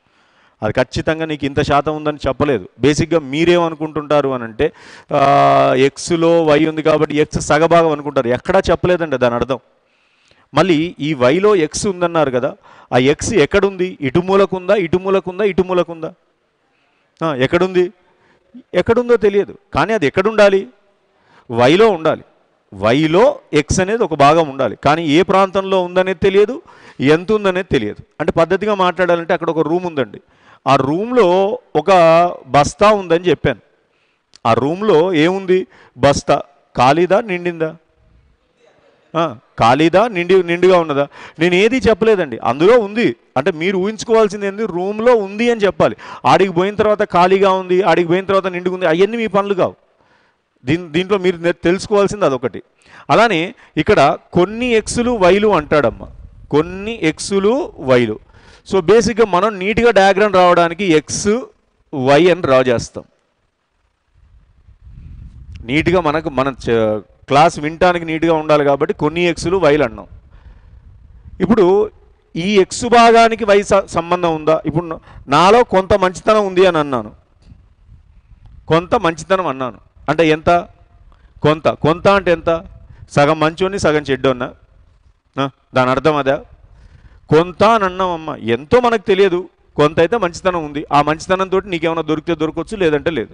దాని అర్థం అంతే. కొన్ని ఎక్స్లు వైలు అన్నాడు. దాని అర్థం ఖచ్చితంగా సగభాగం ఎక్స్ మొత్తానికి వైకి సంబంధించిందంటే కాదు. సగభాగం ఎక్స్ మొత్తానికి వైకి సంబంధించిందంటే కాదు. కొంత భాగం ఎక్స్ అనేది వై అందులో తొంభై శాతం ఉండొచ్చు పది శాతం ఉండొచ్చు ఒక శాతం కూడా ఉండొచ్చు. రైట్ ఇప్పుడు ఎక్స్ వైలు కాదు అంటాడమ్మా. ఎక్స్లు వైలు కావు. అంటే ఇది ఒక్కటే నీకు క్లియర్గా అర్థమవుద్ది ప్రతిసారి. ఎక్స్లు అనేవి ఏం కాదు? వైలు కాదు. అంటే ఎక్స్కి వైకి ఏ విధమైన సంబంధము లేదు. ఎక్స్కి వైకి ఏ విధమైన సంబంధము లేదు. ఇందులో కూడా నా డౌట్. అమ్మ ఊహించుకోండి ఒకసారి. ఫస్ట్ ఇది తీసుకుంటున్నాను. ఎక్స్లు వైలు కాదన్నాడు. ఎక్స్ అనేది ఏం కాదు? వై కాదు. ఈ వై అనేది ఎక్కడ ఉండాలి? ఇక్కడే ఉండాలా? ఎక్కడైనా ఉండొచ్చా? ఎక్కడైనా అంటే మీ ఊళ్ళో ఉండొచ్చా? అమ్మా నేను అడిగిన దానికి సమాధానం చెప్పండి. అది దొరికితే నెక్స్ట్ క్వశ్చన్స్ ఈజీ ఉండొచ్చా? ఎక్కడన్నా ఉండు నాకు అనవసరం. కానీ నాకు దరిదాపుల్లో ఉండకు. అదే కదా ఎక్స్ చెప్పేది అదే కదా వై చెప్పేది. మనం ఇక్కడ ఎందుకు డ్రా చేస్తాము అని అంటే అటు వెళ్తే నీకు అర్థం కాదు అటు పోతే నీకు అర్థం కాదు కాబట్టి రెండింటిని డ్రా చేస్తాం. అంతేనమ్మా దాని అర్థం అంతే. ఎక్స్కి వైకి సంబంధం లేనప్పుడు ఎక్స్ ఎక్కడుంటే నీకెందుకు? వై ఎక్కడుంటే నీకెందుకు? ఏ కరెక్టేనా ఎక్స్కి వైకి సంబంధం లేదు. అది ఎక్కడుంటే మీకెందుకు? వాటి ఆ ఇద్దరి మధ్యలో సంబంధం లేదు. కానీ మనం పేపర్ మీద రాయాలి కాబట్టి ఇలా రాసాం ఇప్పుడు ఇంకో డౌట్ ఏంటి అని అంటే ఈ విధంగా అంటాడమ్మ. ఒక వాక్యంలో కొన్ని ఎక్స్లు వైలు కొన్ని వైలు జెడ్లు అంటాడు. కొన్ని ఎక్స్లు వైలు కొన్ని వైలు జెడ్లు బొమ్మ కరెక్టేగా ఏ కరెక్టేనా కాదా? కరెక్ట్ ఇప్పుడు కొన్ని ఎక్స్లు వైలు అంటే ఈ భాగానికే సంబంధించింది అనేది ఎట్లా అనుకుంటాను? ఎక్స్లో కొంత భాగం వై ఉంది. అవునా కాదా? ఏ భాగం అది? ఇటా ఇటా ఇటా ఇటా. ఎటన్నా కావచ్చు. ఆ ఆ భాగానికే జడ్డు కూడా సంబంధం ఉండొచ్చా లేదా? ఉండొచ్చా లేదమ్మా? ముగ్గురు స్నేహితులు ఉన్నారు కొంతకాలం ఇతను ప్రయాణం చేశాడు తనతోటి రూమ్లో. కొంతకాలం ఇతను ప్రయాణం చేశాడు. ఇతను ప్రయాణం చేసిన టైంలో వీళ్ళిద్దరు కలిసి కూడా రూమ్మేట్స్ అయి ఉండొచ్చా లేదా? ఉండొచ్చా లేదా? ఉండొచ్చా అంటున్నానా? ఉండాలి అంటున్నానా? ఉండొచ్చు. దాన్నే మనం పాసిబిలిటీ అంటున్నాము ఈ రెండిటి వ్యత్యాసం తెలిస్తే చాలు. ఖచ్చితంగా జరిగితే దాన్ని ఏమంటాం? తీర్మానం అంటాం. ఆ మధ్యలో జరగొచ్చు అనే ఆ సంభాషణతో చెప్తే దాన్ని ఏమంటాం? పాసిబిలిటీ అంటాం. మనకున్న ఈ ఎగ్జామ్లో పాసిబిలిటీస్ అయితే రాలేదు కానీ కేవలం తీర్మానాలు మాత్రమే వచ్చాయి. ఇప్పుడు ఇంకో కాన్సెప్ట్ తీసుకుంటే జాగ్రత్తగా అన్ని ఏలు బీలు. ఇలా రాస్తాడమ్మా. నేను ఇంతకుముందు చెప్పింది అదే. అన్ని ఏలు బీలు. మనం మీరు నీట్గా ఉండడానికి రాసుకుంటున్నారు అంతే. మీరు నీట్గా అర్థం కావడానికి మీరు నోట్స్ నీట్గా మెయింటైన్ చేస్తున్నారు. ఎవరు మెయింటైన్ చేయమన్నారు? అన్ని ఏలు బీలు. ఏ ఇక్కడే ఉండాలా? ఏ ఇక్కడే ఉండాలా? ఎక్కడ ఉండాలి బీలో ఉండాలి. బీలో ఎక్కడ ఉండాలి అంటున్నా.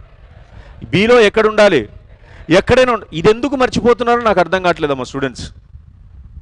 ఇప్పుడు దీని తర్వాత ఏమంటాడు? కొన్ని బీలు సీలు అంటాడు. కొన్ని బీలు సీలు అంటాడు. ఇప్పుడు నీకు ఇమీడియట్గా ఏం గుర్తు రావాలి? బీలో ఆల్రెడీ ఏముంది? సి ఉంది. బీలో ఇక్కడ ఏముంది? సి ఉంది. ఆల్రెడీ ఏముంది?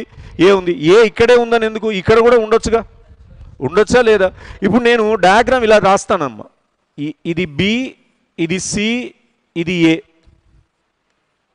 పిల్లలకు వచ్చే ఫస్ట్ డౌట్ ఏంటి అని అంటే ఏకి సికి లింక్ ఉందని నీకు చెప్పలేదు కదా? మన నన్ను అడుగుతాడు పిల్లాడు డైరెక్ట్ సార్ ఏకి సికి లింక్ ఉందని మనకేం ఇవ్వలేదు కదా? లేదని నీకేమన్నా ఇచ్చాడా? లేదని నీకు ఇచ్చాడా? ఇవ్వలేదు. మరి ఇలా ఎందుకు తీసుకుంటారు? జస్ట్ మీ సాటిస్ఫాక్షన్ గురించి. ఎందుకు? బొమ్మ నీట్గా ఉండాలి. అయ్యా కరెక్టేనా కదా? ఆ డయాగ్రామ్ నీట్గా ఉండాలనే సాటిస్ఫాక్షన్ తప్ప బీలో ఇద్దరు ఉన్నారమ్మా ఏ అనేవాడు ఇంట్లో ఉన్నాడు బి అనేవాడు బయట ఉన్నాడు సగం లోపల సగం బయట. అలానప్పుడు వీళ్ళిద్దరి మధ్యలో కూడా ఆ ఏసీ మధ్యలో కూడా సంబంధం ఉండొచ్చు ఉండకపోవచ్చు. అది మీరు అర్థం చేసుకుంటే చాలండి. ఖచ్చితంగా ఉందని చెప్పలేము. ఖచ్చితంగా లేదని కూడా చెప్పలేము ఉందని చెప్పడానికి ఛాన్స్ ఉందా? లేదు. లేదని చెప్పడానికి ఛాన్స్ ఉందా? లేదు. ఇదే ఇంకొకటి తీసుకుంటున్నాను. జాగ్రత్తగా చూడమ్మా కన్ఫ్యూజన్ ఏం లేదు. చా టైం పడుతుంది. ఏ ఏ ఏలో బి ఉందమ్మా. అదే ఏలో సి ఉంది. ఏలో నీకు ఏముందన్నాడు బి ఉందన్నాడు. అదే ఏలో ఏముందన్నాడు? సిలో. మరి బీసీ మధ్యలో సంబంధం? ఉండొచ్చా ఉండకపోవచ్చా? ఉండొచ్చు ఉండకపోవచ్చు. తీర్మానమా పాసిబిలిటీయా ఇప్పుడు నీకు ఎగ్జాంపుల్ తీర్మానం అని చెప్పేసి ఈ విధంగా అడుగుతాడు. తీర్మానం అని చెప్పేసి మొదటిది ఏమంటాడు అంటే కొన్ని బీలు సీలు. కొన్ని బీలు సీలు అంటాడమ్మా. కొన్ని బీలు సీలు అవుతాయా అవ్వచ్చా? అవ్వచ్చు. కానీ అక్కడ ఏమాత్రం చెప్పకుండా ఇచ్చాడు అంటే ఖచ్చితంగా అవుతాయి అంటున్నాడు. కాబట్టి రైటా రాంగా రాంగ్. అదే రెండో తీర్మానం అని చెప్పేసి ఈ విధంగా ఇస్తాడమ్మా. బీలు సీలు కావు. రైటా రాంగా? బీలు సీలు కావు అంటున్నాడు. రైటా రాంగా? ఇది ఎగ్జామ్లోకి వెళ్ళే వరకు ఏం చేస్తున్నారంటే దూరంగా ఉన్నాయి కదా అని చెప్పి కావంటున్నాడు ఇక్కడ ఇది ఇక్కడ ఉంది అది అక్కడ. అది ఇలా ఇలా ఉందని మీరు మీ సాటిస్ఫాక్షన్ గురించి బొమ్మేసుకున్నారమ్మా అవి అలా ఉన్నాయని నేను చెప్పానా? నేను ఏమంటున్నాను? ఏలో బి ఉండాలి అదే ఏలో సి ఉండాలి. ఆ రెండు వస్తువులు ఏడుంటే నీకెందుకు? ఆ రెండు కలిసి ఉన్నాయని నేను చెప్పట్లేదు. కలిసి లేవని చెప్పట్లేదు. అలా అని చెప్పి ఒకటి ఒకటి కలిసి ఉందని కూడా నేను చెప్పట్లేదు. సగం కలిసి ఉంది మొత్తం కలిసి ఉంది. ఏలో ఏముంది బి ఉంది. అదే ఏలో ఏముంది సి ఉంది. అవి ఎలా ఉన్నాయి? అవి ఎలా ఉన్నాయి? ఏ విధంగానైనా ఉండొచ్చు మిమ్మల్ని అడగట్లేదు మీకు అనవసరం. అయ్యి అర్థమైందా? ఇప్పుడు మొదటి ప్రశ్న కనుక అబ్జర్వ్ చేస్తే మొదటి ప్రశ్నలో ప్రకటన. ఫస్ట్ చెప్పండి ఒకసారి. కొన్ని బ్లాంకెట్లు పరదాలు. అయ్యే జాగ్రత్తగా చూడండి. కొన్ని బ్లాంకెట్లు బ్లాంకెట్ ఏదైతే ఉందో ఏమవుతుంది? పరదా అవుతుంది. అమ్మ ఈ డయాగ్రామ్ కేవలం నీట్గా కనబడడానికి మాత్రమే తీసుకున్నాను. కొన్ని బ్లాంకెట్లు పరదాలు. రెండోది ఏ పరదా కూడా ఏం కాదు కుర్చీ. కుర్చీ ఎక్కడ వేయొచ్చు నువ్వు కుర్చీ ఎక్కడేయొచ్చు?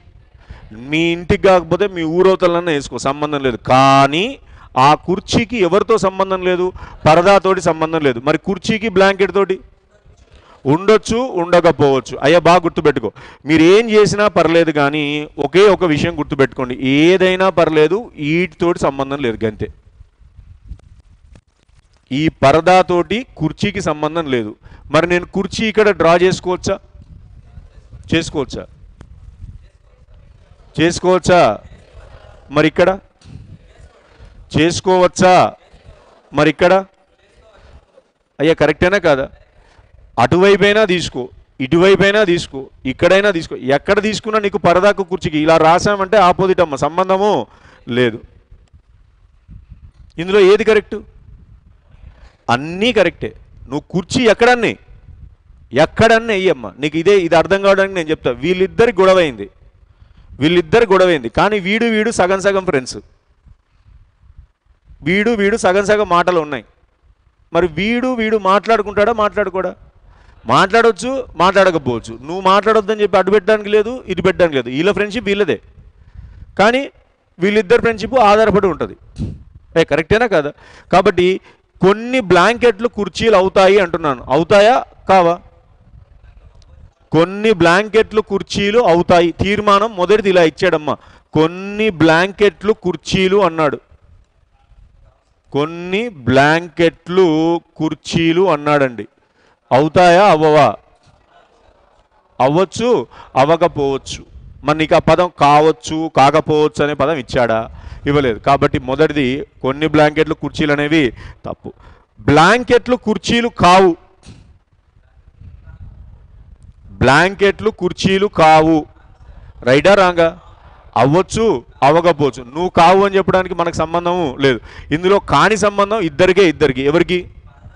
పరదాలకి కుర్చీకి మాత్రమే సంబంధము లేదు. మిగతా వాటికి సంబంధం ఉండొచ్చు ఉండగా పోవచ్చు. రైట్? ఇప్పుడు మొదటి తీర్మానం చదవండి అమ్మా బ్లాంకెట్ పరదా కాదు అన్నాడు. రైటా రాంగా? బ్లాంకెట్ పరదా కాదు. ఈ బ్లాంకెట్ పరదా కాదు అన్నాడు. ఆల్రెడీ కొన్ని బ్లాంకెట్లు ఏమవుతున్నాయి నీకు? పరదాలు అవుతున్నప్పుడు బ్లాంకెట్కు పరదాకు సంబంధం లేదని చెప్పొచ్చా? చెప్పడానికి ఛాన్స్ ఉందా? బ్లాంకెట్లు పరదాలు కాదన్నాడు. క్లియర్గా కొన్ని బ్లాంకెట్లు ఏమవుతున్నాయి? పరదాలు అయినప్పుడు నువ్వు బ్లాంకెట్ పరదా కాదని చెప్పడానికి ఛాన్స్ లేదు. కాబట్టి మొదటిది తప్పు. రెండోది అన్ని బ్లాంకెట్లు కుర్చీలు అంటున్నాడు. అవుద్దా? అన్ని బ్లాంకెట్లు కుర్చీలు అవ్వడానికి ఛాన్స్ లేదు. ఎందుకు? ఆల్రెడీ కొన్ని బ్లాంకెట్లు ఎవరిలో ఉన్నాయి? పరదాలో ఉన్నాయి. ఆల్రెడీ నువ్వు వానికి అప్పించిన తర్వాత నా మొత్తం డబ్బులు తీసుకొచ్చి నీకు ఇస్తా అంటే దౌడ బగులుద్ది. ఏ కరెక్టేనా కదా? ఈ బ్లాంకెట్లలో ఏమున్నాయి ఆల్రెడీ? పరదాలు ఉన్నాయి కాబట్టి ఇవి తీసుకోవడానికి ఛాన్స్ లేదు. కాబట్టి రెండోది కూడా సరైనది కాదు. మూడోదమ్మ కొన్ని పరదాలు బ్లాంకెట్లు. కొన్ని పరదాలు బ్లాంకెట్లు. అవుతాయా అవ్వా? ఏ దృష్టిలో చెప్తున్నారు? ఈ మధ్యలో ఉన్న విషయాన్ని ఆసరాగా చేసుకొని కొన్ని బ్లాంకెట్లు ఏమవుతున్నాయి? పరదాలు. అంటే ఇందులో ఎవరెవరు ఉన్నారమ్మా? ఎవరెవరు ఉన్నారు బ్లాంకెట్ పరదా. కాబట్టి పరదా బ్లాంకెట్. కాబట్టి కొన్ని పరదాలు ఏమవుతాయి? బ్లాంకెట్లు అవుతాయి. కాబట్టి ఆప్షన్ ఏది? మూడోది కరెక్ట్. మరి నాలుగోది? పరదాలు బ్లాంకెట్లు కాదు అంటున్నాడు. పరదాలు బ్లాంకెట్లు కాదు. అవుతాయా? అవ్వా అవుతాయి. కానీ ఇక్కడ ఏమంటున్నాడు? కాదు. కాబట్టి ఏది కరెక్ట్? ఏది కరెక్ట్? మూడోది మాత్రమే సరి అనేది ఒకసారి బొమ్మ వేసి ఇది చూడండి అమ్మ ఒకసారి. డయాగ్రామ్ రాజేయండి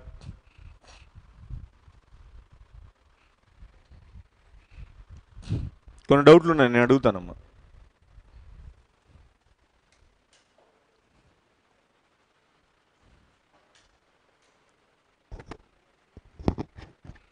మూడోది మాత్రమే సరి అయినది. కొన్ని బ్లాంకెట్లు పరదాలు.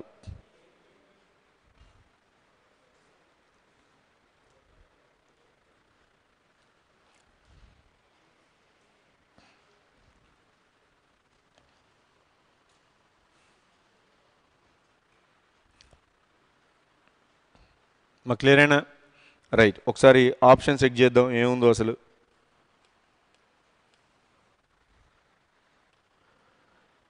ఏడుంది ఆన్సర్. కొన్ని పరదాలు బ్లాంకెట్లు. ఏది కరెక్ట్ అయింది? మూడు మాత్రమే సరి అయింది. ఏది కరెక్ట్ అయింది అక్కడ? మూడు మాత్రమే సరి అయింది. నాలుగో ఆప్షన్ కరెక్ట్ అవుతుంది. రైట్.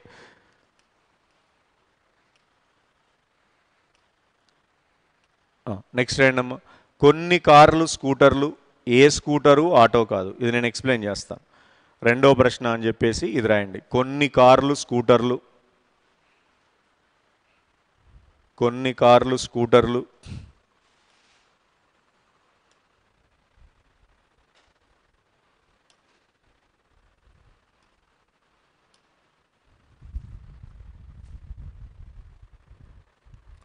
కొన్ని కార్లు స్కూటర్లు ఏ స్కూటరు ఆటో కాదు. కొన్ని కార్లు స్కూటర్లు ఏ స్కూటరు ఆటో కాదు. కొన్ని కార్లు ఆటోలు కాదు అన్ని ఆటోలు కార్లు.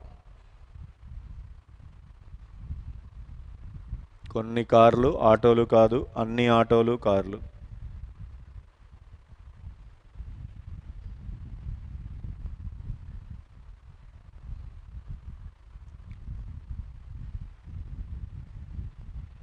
కొన్ని ఆటోలు కార్లు.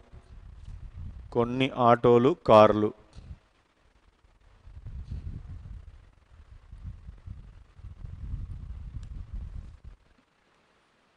కొన్ని ఆటోలు కార్లు. కొన్ని స్కూటర్లు కార్లు. కొన్ని ఆటోలు కార్లు కొన్ని స్కూటర్లు కార్లు. ఇంతకుముందు ఇచ్చిన క్వశ్చనే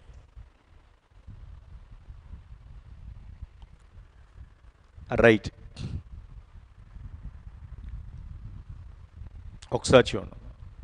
తీర్మానం ఏం సార్ ప్రకటన ఏమి ఇచ్చారు మనకి? కొన్ని కార్లు స్కూటర్లు ఏ స్కూటరు కూడా ఆటో కాదు. రైట్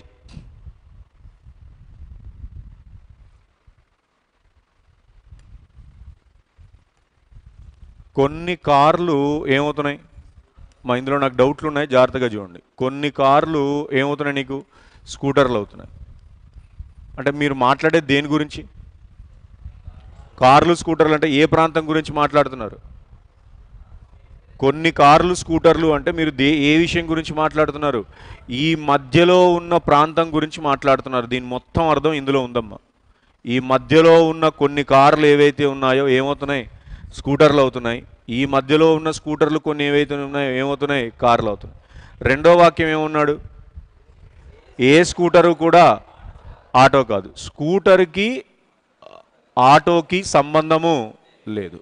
రైట్ ఒకసారి చూడమ్మా స్కూటర్ అనేది నీకేం కాదు ఆటో కాదు. ఇందులో ఖచ్చితంగా ఒక వస్తువుకి ఒక వస్తువుకి సంబంధం లేదు. ఏంటి ఆ వస్తువులు? Scooter auto. స్కూటర్కి ఆటోకి సంబంధము లేదు. మరి స్కూటర్లో ఆల్రెడీ కొన్ని ఉన్నాయి. స్కూర్ స్కూటర్లో కొన్ని ఆల్రెడీ ఉన్నాయి. ఏంటి? కార్లు ఉన్నాయి. మరి వాటికి ఆటోకి? సంబంధం ఉందా లేదా? ఉందా లేదా? ఉండొచ్చా? ఉండకూడదా? ఇక్కడ త- ఇక్కడ తడబడతారమ్మా. మీ దగ్గర ఒక స్కూటర్ ఉందండి. మీ దగ్గర ఒక స్కూటర్ ఉంది. ఆ ఆడుకునే ఒక స్కూటర్ ఉంది ఆడుకునే ఒక ఆటో ఉంది. ఆ స్కూటర్కి ఆటోకి ఏ విధమైన సంబంధం లేదని మనం ప్రకటన ఇచ్చాం. ఆ స్కూటర్లో కొన్ని కార్లు దాచిపెట్టారు. కార్ల బొమ్మలు ఉన్నాయి కదా ఆ స్కూటర్ డిక్కీలో తీసి కొన్ని కార్లు వేశారు. ఈ బయట కొన్ని కార్లు ఉన్నాయి. ఆ కార్లు ఆటోలో వేసుకోవచ్చా లేదా? ఈ కార్లు ఆటోలో వేసుకోవచ్చా లేదా? మరి ఈ స్కూటర్లో ఉన్న కొన్ని కార్లు వేసుకోవడానికి ఛాన్స్ ఉందా? లేదు. సో క్లియర్గా ఇక్కడ ఏంటి అంటే మీనింగ్ ఈ ప్రాంతంలో ఉన్న ఇందులో నీకు ఏమేమి ఉంటాయి? ఇందులో ఏమేమి ఉంటాయి? కార్లు స్కూటర్లు. ఈ స్కూటర్లు అన్నీ కూడా ఏం కావు? స్కూటర్లు అన్నీ కూడా ఏం కావు? ఆటోలు కావు. మరి కార్లు? కొన్నా అన్యా కొన్ని ఏం కావు? ఆటోలు. ఏ కొన్ని? ఏవైతే స్కూటర్లో ఉన్నాయో ఏవైతే స్కూటర్లో ఉన్నాయి ఈ ప్రాంతంలో ఉన్న ఏ వస్తువైనా సరే అది ఏదన్నా కానీ ఏ వస్తువైనా నీకేం కాదు? ఆటోకి సంబంధం లేదు. ఇప్పుడు స్కూటర్కి ఆటోకి ఖచ్చితమైన తీర్మానం చెప్పాలంటే ఏం చెప్తారు? స్కూటర్కి ఆటోకి ఖచ్చితమైన తీర్మానం చెప్పాలంటే ఏం చెప్తాం? స్కూటర్లు ఆటోలు కాదు. ఆటోలు స్కూటర్లు కాదు. అదే మరి ఆటోకి స్కూటర్కి కా చెప్పాలి అంటే? సారీ ఆటోకి కార్లకి సంబంధం చెప్పాలంటే? కొన్ని కార్లు ఆటోలు కాదు కరెక్టా? కొన్ని ఆటోలు కార్లు కాదు కరెక్టా? కొన్ని కార్లు. కొన్ని కార్లు. ఏవైతే స్కూటర్లో ఉన్నాయో ఇవి నీకేం కాదు. ఆటోలు కాదు. ఇది నువ్వు చెప్పాల్సిందమ్మా. మళ్ళీ నువ్వు కన్ఫ్యూజన్లో కొన్ని ఆటోలు కార్లు కాదంటానికి లేదండి. నిన్ను కన్ఫ్యూజ్ చేయడానికి రెండు పదాలు అడిట్ అంటాడు. కొన్ని కార్లు ఏ కార్లు? ఏవైతే స్కూటర్లో ఉన్నాయో ఇవి ఎట్టి పరిస్థితుల్లో కూడా నీకేం కాదు? ఆటోలు కాదు. మరి అన్యా కొన్యా? అన్యా కొన్యా? కొన్ని కొన్ని స్కూటర్ సారీ కొన్ని కార్లు ఎట్టి పరిస్థితుల్లో కూడా ఏం కాదు ఆటోలు కాదు. సో మొదటి వాక్యం ఏమన్నాడు చూడండి ఫస్ట్ ఫస్ట్ డయాగ్రామ్ రాజేయండి అమ్మ. ఫస్ట్ డయాగ్రామ్ రాజేయండి. డయాగ్రామ్ రాజేయండి. ఇది యాస్టీజ్ రాసి కార్లు స్కూటర్లు అన్నీ కొన్ని అని రాయండి. అన్నీ కొన్ని. కార్లు స్కూటర్లు కొన్ని అన్నీ. దాని ప్రకారం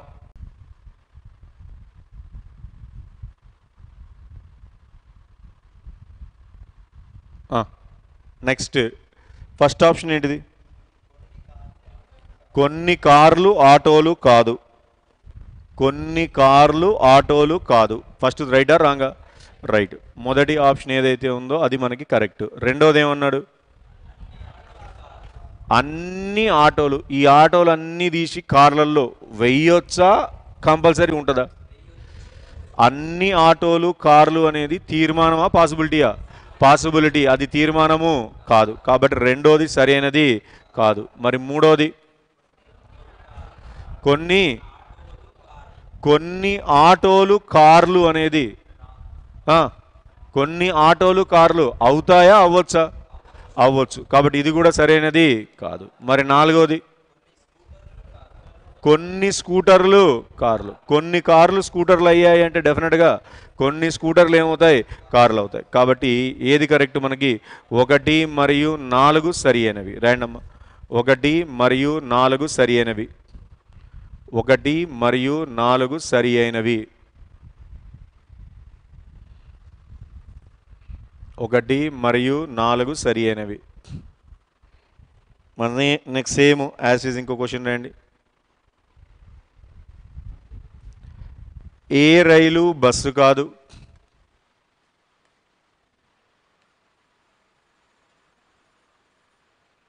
ఏ రైలు బస్సు కాదు ఏ బస్సు ట్రక్ కాదు. ఏ రైలు బస్సు కాదు ఏ బస్సు ట్రక్ కాదు.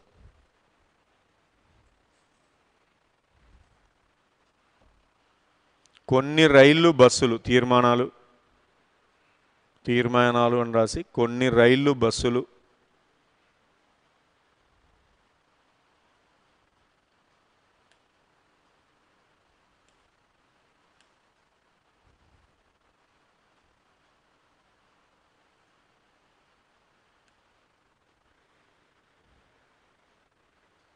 ఏ ట్రక్కు బస్సు కాదు అన్ని రైళ్ళు ట్రక్కులు అన్ని ట్రక్కులు బస్సులు. ఏ రైలు బస్సు కాదు ఏ బస్సు ట్రక్కు కాదు. ఏ రైలు బస్సు కాదు ఏ బస్సు ట్రక్కు కాదు. కొన్ని రైళ్ళు బస్సులు ఏ ట్రక్కు బస్సు కాదు అన్ని రైళ్ళు ట్రక్కులు అన్ని ట్రక్కులు బస్సులు.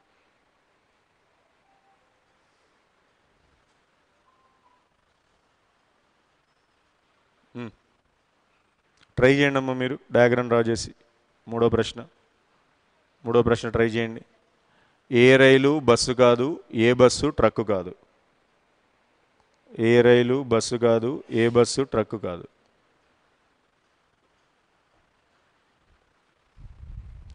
రైలు బస్సు కాదు.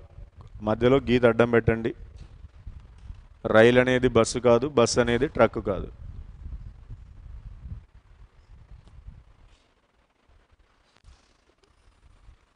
రైలు ఏదైతే ఉందో ఇదేం కాదు. ఏం కాదు అంటున్నాడు బస్సు మరి బస్సు ఏదైతే ఉందో? ట్రక్కు. ఇప్పుడు ఇందులో సంబంధం లేని అంశాలు ఏంటివి ఏంటివి? సంబంధం లేని అంశాలు ఏంటివి? Rail bus bus truck. మరి రైలుకి ట్రక్కుకి? ఉండొచ్చు ఉండకపోవచ్చు. కొన్ని రైళ్ళు ట్రక్కులు కావు. తీర్మానం పాసిబిలిటీయా తీర్మానం పాసిబిలిటీయా పాసిబిలిటీ నువ్వు తీర్మానం అని చెప్పడానికి లేదు. కొన్ని తీ కొన్ని అవ్వచ్చు అవ్వకపోవచ్చు. రైళ్ళు ట్రక్కులు కాదు. రైలు ట్రక్కులు కాదు. చెప్పొచ్చా? చెప్ప. నువ్వు దూరంగా ఉందని చెప్పడానికి ఛాన్స్ లేదమ్మా. ఇందులో సంబంధం లేని అంశాలు రెండే రెండు. ఇద్దరికి మాత్రమే రిలేషన్ లేదు. ఎవరికి? బస్సు ట్రక్కు అండ్ దాంతోపాటు బస్సు రైలు. మరి రైలు ట్రక్ పరిస్థితి ఏంది? రైలు ట్రక్ పరిస్థితి ఉండొచ్చు ఉండకపోవచ్చు. ఆ సంబంధం అనేది ఉండొచ్చు ఉండకపోవచ్చు. అదే నీకు ఫస్ట్ తీర్మానం ఏమన్నారు? కొన్ని రైళ్ళు బస్సులు. ఆల్రెడీ రైలుకి బస్సుకి సంబంధమే లేదు అన్నప్పుడు కొన్ని రైళ్ళు బస్సులు అంటే రైటా రాంగా? రాంగ్. ఇదే కథమ్మా. రెండోది ఏ ట్రక్కు కూడా బస్సు కాదు. బస్సు ట్రక్కు కాదు అన్నప్పుడు ఖచ్చితంగా ట్రక్ అనేది ఏం కాదు? బస్సు కాదు. రైటా రాంగా? రైట్. Very good. మూడోది. అన్ని రైళ్ళు కూడా ట్రక్కులు. అవుతాయా? అవ్వచ్చా? అన్ని రైళ్ళు కూడా ట్రక్కులు అవుతాయా? అవ్వచ్చా? అవ్వచ్చు. మరి ఛాన్స్ ఉందా? లేదు. మరి నాలుగోది. అన్ని ట్రక్కులు కూడా బస్సులు. అసలు సంబంధం ఉందా? ట్రక్ అనేది ఏం కాదు? బస్సు కాదు అన్నప్పుడు అన్ని ట్రక్కులు బస్సులు. అవుతాయా? కావు. కాబట్టి ఏది కరెక్ట్ అక్కడ? రెండు మాత్రమే సరి అయినది. రెండు మాత్రం అన్ని పుస్తకాలు చెట్లు అన్ని చెట్లు సింహాలు. అన్ని చెట్లు సింహాలు అన్ని సింహాలు పుస్తకాలు అన్ని చెట్లు పుస్తకాలు కొన్ని సింహాలు పుస్తకాలు. అన్ని పుస్తకాలు చెట్లు అన్ని చెట్లు సింహాలు.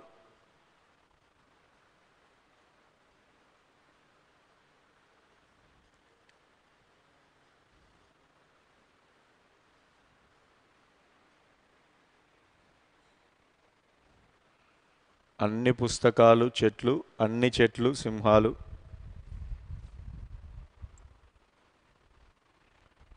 అన్ని పుస్తకాలు సింహాలు. అన్ని సింహాలు పుస్తకాలు అన్ని చెట్లు పుస్తకాలు కొన్ని సింహాలు పుస్తకాలు. రైట్ క్లియరేనా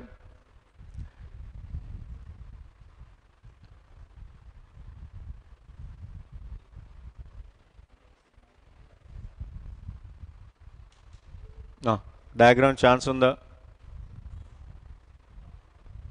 రైట్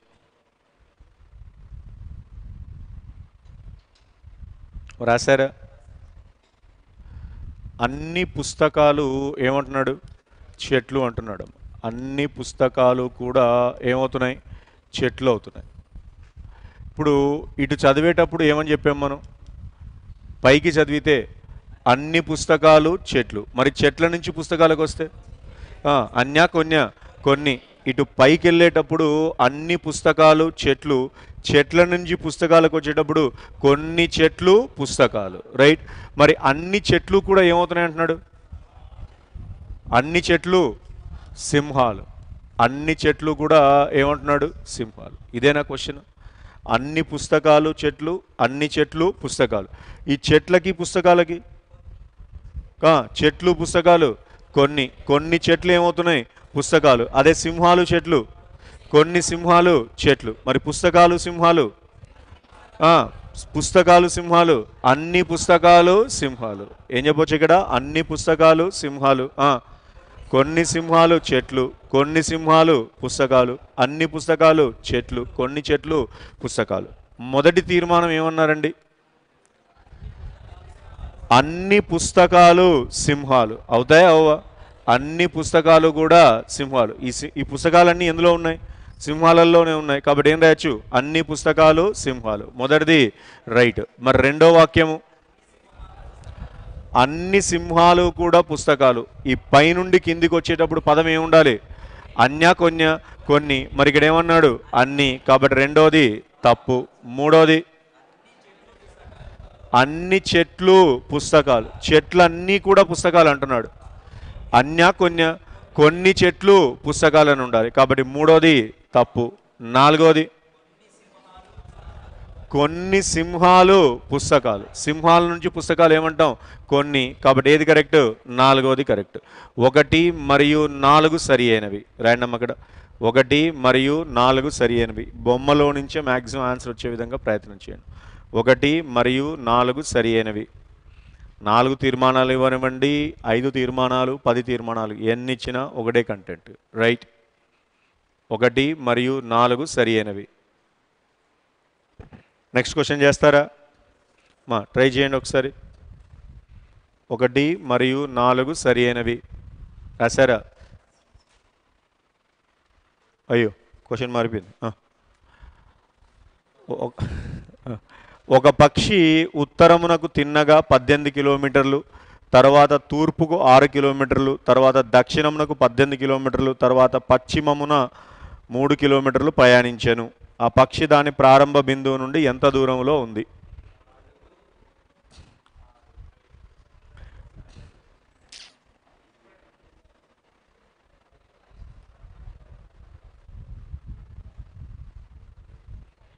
ఐదు ఆన్సర్ అమ్మా.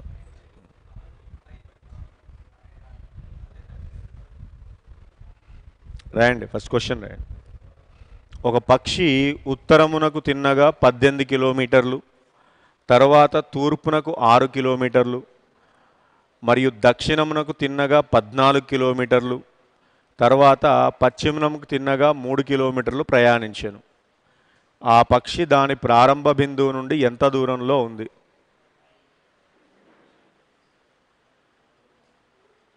ప్రారంభ బిందువు నుండి ఎంత దూరంలో ఉంది? అది మీరు బొమ్మ వేయకండి అమ్మ రాదు.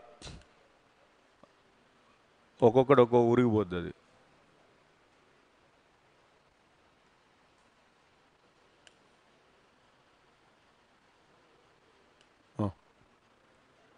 రైట్ ఒకసారి చూడండి అమ్మా.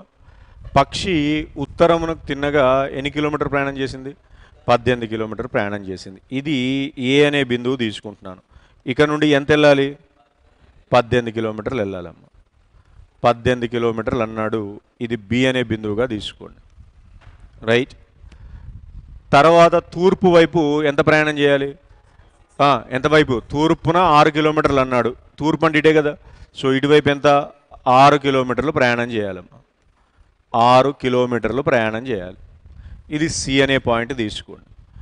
తరువాత దక్షిణమునకు తిన్నగా పద్నాలుగు కిలోమీటర్లు. దక్షిణానికి అంటే ఎటువైపు? కిందికి. ఈ మొత్తం దూరం ఎంత? పద్దెనిమిది. అందులో మీరు ఎంత వెళ్ళాలి? పద్నాలుగు వెళ్ళాలమ్మా. సో ఎంత వెళ్ళాలి?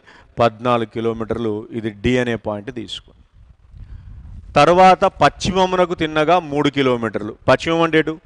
ఇటువైపు. మొత్తం ఇదెంత? ఆరు. మనం ప్రయాణం చేయాల్సింది మూడు కిలోమీటర్లు. మూడు కిలోమీటర్లు ప్రయాణం చేసి ఇది ఈ అనే బిందువు అయితే ఈ రెండిటి మధ్య దూరము ఎంత అని అడుగుతున్నాడు. ఇది క్వశ్చన్ ఆ రెండిటి మధ్య దూరము ఎంత? ఇది మనకు అడిగిన ప్రశ్న. ఇప్పుడు దీనికి సమాంతరంగా ఇక్కడ ఒక పాయింట్ తీసుకుంటానండి. ఇప్పుడు ఈ దూరం ఎంత? పద్నాలుగు. ఈ దూరం ఎంత? పద్నాలుగు. పోతే ఇక్కడ మిగిలింది ఎంత? నాలుగు కిలోమీటర్లు. నాలుగు కిలోమీటర్లు. ఈ మొత్తంలో ఈ మొత్తం దూరంలో ఇది ఆరు కిలోమీటర్లు పోతే ఇది ఎంత ఉంటుందమ్మా? ఎన్ని కిలోమీటర్లు? మూడు కిలోమీటర్లు. మరి ఇదెంత దూరం? నాలుగు కిలోమీటర్లు. ఈ రెండు కూడా లంబ దిశలోనే కదా ఉంది. లంబ దిశలో ఉన్నప్పుడు పైతాగర సిద్ధాంతం ప్రకారము three square plus four square is equal to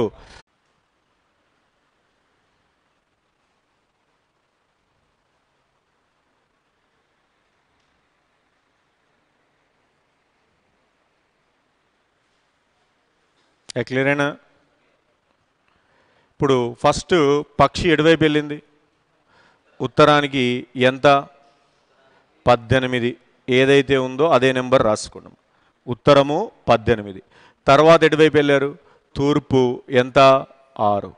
తూర్పు వైపు ఎంత? ఆరు. రైట్? మళ్ళీ ఎటువైపు?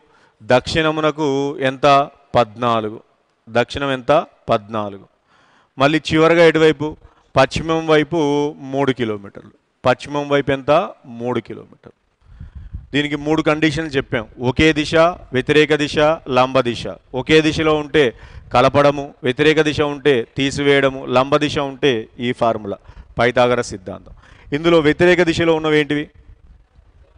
ఉత్తరము దక్షిణము. ఒకే దిశ వ్యతిరేక దిశ. వ్యతిరేక దిశ కాబట్టి ఏం చేయాలి? మైనస్ చేయాలి. వ్యతిరేక దిశ కాబట్టి ఏం చేయాలి? తీసేయాలి. పద్దెనిమిది పద్నాలుగులో ఏది ఎక్కువ ఉంది పద్దెనిమిది పద్నాలుగులో ఏది ఎక్కువ ఉంది ఉత్తరం. ఎంత ఎక్కువ ఉంది నాలుగు. కాబట్టి నీకు మిగిలే ఆన్సర్ ఉత్తరం నాలుగు. రైట్?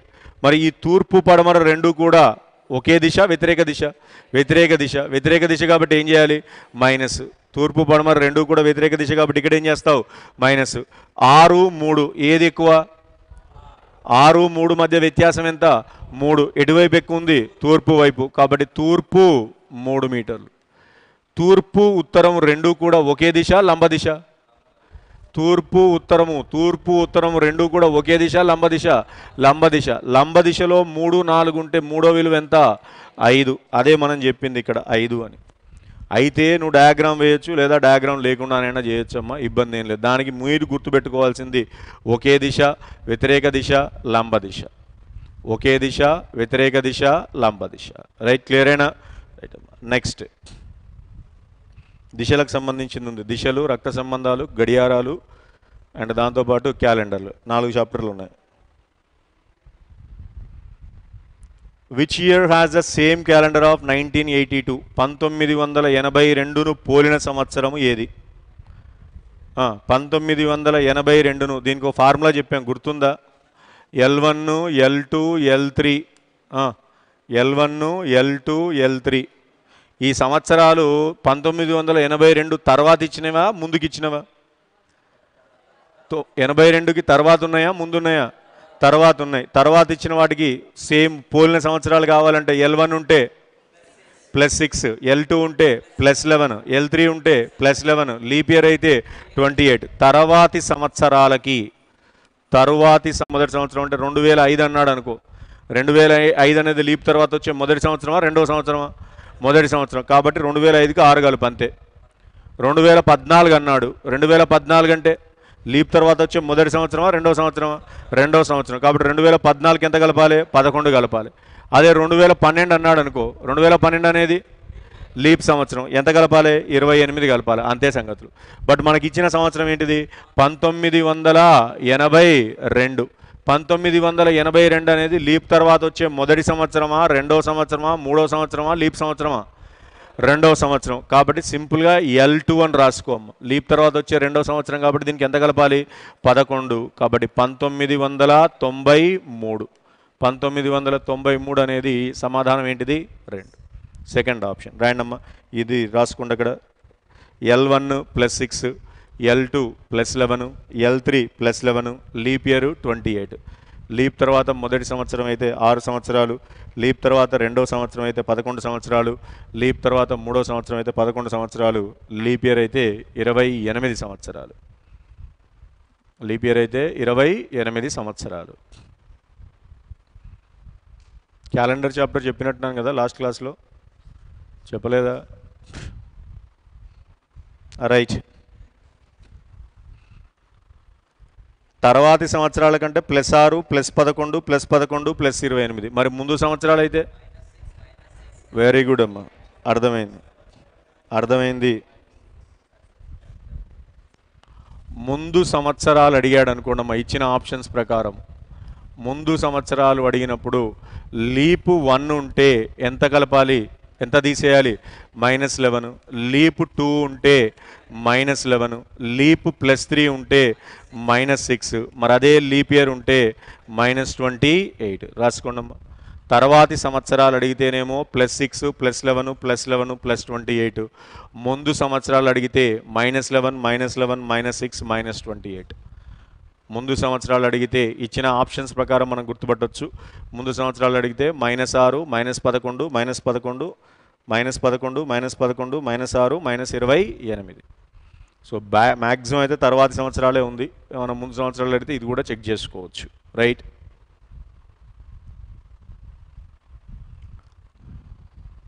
నెక్స్ట్ అమ్మ. రాశారా? డెబ్భై ఒకటి. ఇరవై ఆరు మే పంతొమ్మిది వందల ఎనభై ఏడు బుధవారం అయితే నాలుగు సెప్టెంబర్ పంతొమ్మిది వందల ఎనభై ఏడు ఏ రోజు అగును? ఇరవై ఆరు మే పంతొమ్మిది వందల ఎనభై ఏడు బుధవారము అయితే నాలుగు సెప్టెంబర్ పంతొమ్మిది వందల ఎనభై ఏడు. పంతొమ్మిది వందల ఎనభై ఏడు పంతొమ్మిది వందల ఎనభై ఏడు ఒకే సంవత్సరంలో ఉన్నారు. కానీ మీ ప్రయాణం ఎక్కడి నుంచి ఎక్కడికి? మే నుండి మొదలుపెట్టుకొని సెప్టెంబర్ వరకు ప్రయాణం చేయాలమ్మా. మే నుండి మొదలుపెట్టుకొని సెప్టెంబర్ వరకు. ప్రశ్ ప్రశ్న రాయండి ఫస్ట్. ఇరవై ఆరు మే పంతొమ్మిది వందల ఎనభై ఏడు బుధవారము అయితే నాలుగు సెప్టెంబర్ పంతొమ్మిది వందల ఎనభై ఏడు ఏ రోజు అగును? అసలు మిగులు రోజులు అంటే ఏంటిదమ్మా? మిగులు రోజులు అంటే ఏడు చే భాగించగా వచ్చే శేషమును మనం ఏమంటాం? మిగులు రోజులు అంటాం అంటే ఇప్పుడు జనవరిలో మొత్తం ఎన్ని రోజులు ఉంటాయి ముప్పై ఒక రోజు. ముప్పై ఒక రోజుల్లో ఎన్ని వారాలు ఉంటాయి నాలుగు వారాలు. ముప్పై ఒకటిని ఏడుచో భాగించాలి. ఏడు నాలుగులు ఇరవై ఎనిమిది. పోతే ఎన్ని మిగిలినాయి? మూడు. ఆ మూడింటినే మనం మిగిలిన రోజులు అంటాం. మరి ముప్పై రోజుల్లో? ముప్పై రోజుల్లో రెండు రోజులు. ఇరవై ఎనిమిది ఏ నాళ్ళు? ఇరవై ఎనిమిది. పోతే ఎన్ని మిగిలినాయి? సున్నా. ఇరవై తొమ్మిదిలో? ఒకటి. ముప్పై ఒకటి మూడు. ముప్పై రెండు. రైట్? ఆ మిగులు రోజులను లెక్కించుకొని చేయాలి. మనం ఎక్కడి నుంచి లెక్క పెట్టాలి? మే. మే తర్వాత next June. Next July next August next September. అయ్యి ఒకసారి చూడండి తర్వాత రండి మేలో మొత్తం రోజులు ఎన్ని లెక్క పెట్టాలి? మేలో మొత్తం ఎన్ని రోజులు? ముప్పై ఒకటి. ముప్పై ఒకటిలో నుంచి ఎన్ని తీసేయాలి? ఇరవై ఆరు. ముప్పై ఒకటిలో నుంచి ఇరవై ఆరు పోతే. ఇక్కడ ఏ రోజు ఇస్తే ఆ రోజు తీసేయమ్మా. ఇప్పుడు నువ్వు మే ఇరవై ఆరు అన్నావు. మే తర్వాతనే కదా ఇరవై ఏడు ఇరవై ఎనిమిది ఇరవై తొమ్మిది ముప్పై ముప్పై ఒకటి. ఐదు రోజులు కావాలి. మొత్తం రోజుల్లో నుంచి ఏ రోజు ఇస్తే అది తీసేయి. మేలో ఎన్ని రోజులు? ఐదు రోజులు. జూన్ మొత్తం లెక్కించాల్సిందే కదా. జూన్లో ఎన్ని ఉంటాయి? ముప్పై. జూలైలో ముప్పై ఒకటి. ఆగస్టు ముప్పై ఒకటి. సెప్టెంబర్ ముప్పై. ముప్పై తోటి పని లేదు. ఏ రోజు వరకైతే అడిగాడో అదే రోజమ్మ. ఈ రెండే మీరు కాన్సన్ట్రేట్ చేయాల్సింది. ఇవి ఆటోమేటిక్గా మీరు తీసుకుంటారు. ఇక్కడ మిగిలిన రోజులు తీసుకోవాలి. ఈ చివరి నెలలో ఏ రోజైతే అడుగుతున్నాడో ఆ రోజు లెక్కించుకోవాలి ఏ రోజైతే అడుగుతున్నాడో ఆ రోజు. ఏం అడుగుతున్నారు మనకి? నాలుగు. కాబట్టి ఆన్సర్ ఏమి ఉండాలి? నాలుగు. సో మిగులు రోజులు లెక్కండి ఐదులో మిగులు రోజులు ఎన్ని ఉంటాయి? ఐదే ఉంటాయి. మరి ముప్పైలో? రెండు. ముప్పై ఒకటి మూడు. ముప్పై ఒకటి మూడు. ఇక్కడ నాలుగు.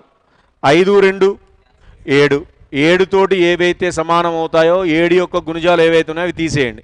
ఐదు రెండు ఏడు నాలుగు మూడు ఏడు. పోతే ఎన్ని మిగిలినాయి? ఎన్ని మిగిలినాయి? మూడు. ఈ మిగిలిన మిగులు రోజులు ఏవైతే ఉన్నాయో దేనికి కలుపుకోవాలి? ఇచ్చిన బుధవారాన్ని కలుపుకోండమ్మా బుధవారము ప్లస్ మూడు ఏమవుతుంది? ఏ రోజు అవుతుంది? శనివారం. కాబట్టి మీ సమాధానం ఏంటిది? శనివారం అనేది మీకు సమాధానం అవుతుంది. రాయండమ్మ ఏ నెల ఇస్తే ఆ నెల నుంచి మొదలు పెట్టుకొని ఇక్కడ మీరు చేసే మిస్టేక్ ఏంటంటే ఇరవై ఆరు ఇక్కడ రాస్తారు? అక్కడే మొత్తం నెలలు రాస్తారమ్మా. ముప్పై ఒకటిలో నుంచి ఇరవై ఆరు తీసేయాలి. ఐదు రోజులు. ముప్పై జూన్ మొత్తం ముప్పై రోజులు కాబట్టి రెండు జూలై మూడు ఆగస్టు మూడు సెప్టెంబర్ నాలుగు. ఐదు రెండు ఏడు నాలుగు మూడు ఏడు. మిగిలిన రోజులు ఏవైతే ఉన్నాయో అవి దానికి గలుపుకో సరిపోతుంది.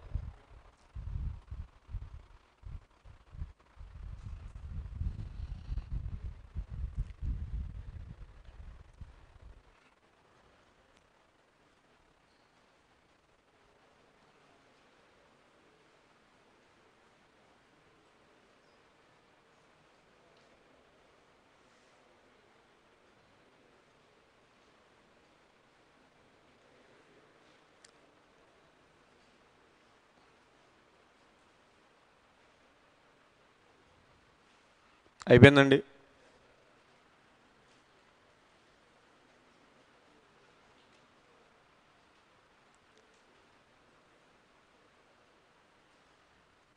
Right next.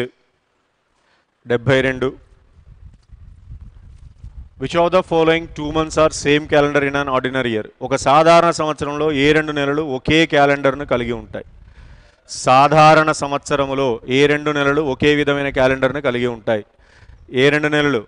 జనవరి మరియు అక్టోబర్. ర్యాండమ్ అక్కడ. నోటన్ రాసి ఒక సాధారణ సంవత్సరములో ర్యాండమ్ ఒక సాధారణ సంవత్సరములో ఒక సాధారణ సంవత్సరములో జనవరి మరియు అక్టోబర్ నెలలు ఒక సాధారణ సంవత్సరములో జనవరి మరియు అక్టోబర్ నెలలు ఒకే విధమైన క్యాలెండర్ను కలిగి ఉండును. ఒక సాధారణ సంవత్సరములో జనవరి మరియు అక్టోబర్ నెలలు ఒకే విధమైన క్యాలెండర్ను కలిగి ఉండును. ఒకే విధమైన క్యాలెండర్ను కలిగి ఉండును. ఒకే విధమైన క్యాలెండర్ను కలిగి ఉండును. ఇందులోనే రెండో పాయింట్ అమ్మ జనవరి అక్టోబరు సాధారణ సంవత్సరం అండర్లైన్ చేయండి. ఒక లీపు సంవత్సరములో ఒక లీపు సంవత్సరములో ఒక లీపు సంవత్సరములో జనవరి మరియు జూలై నెలలు. ఒక లీపు సంవత్సరములో జనవరి మరియు జూలై నెలలు ఒకే విధమైన క్యాలెండర్ను కలిగి ఉండును. ఒక లీపు సంవత్సరములో జనవరి మరియు జూలై నెలలు ఒకే విధమైన క్యాలెండర్ను కలిగి ఉండును.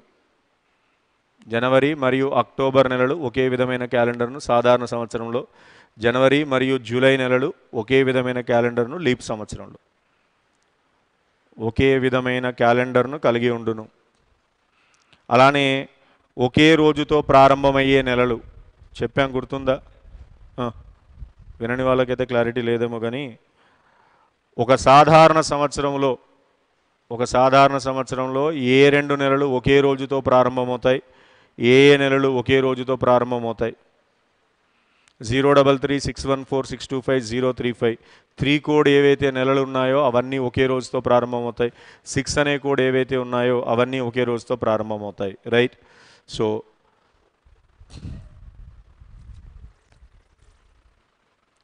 zero double three six one four six two five zero three five రాయండి అమ్మ ఒకసారి.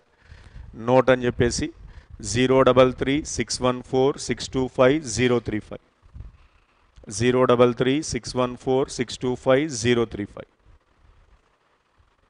Right ఇక్కడ సాధారణ సంవత్సరం అని రాయండి సాధారణ సంవత్సరము.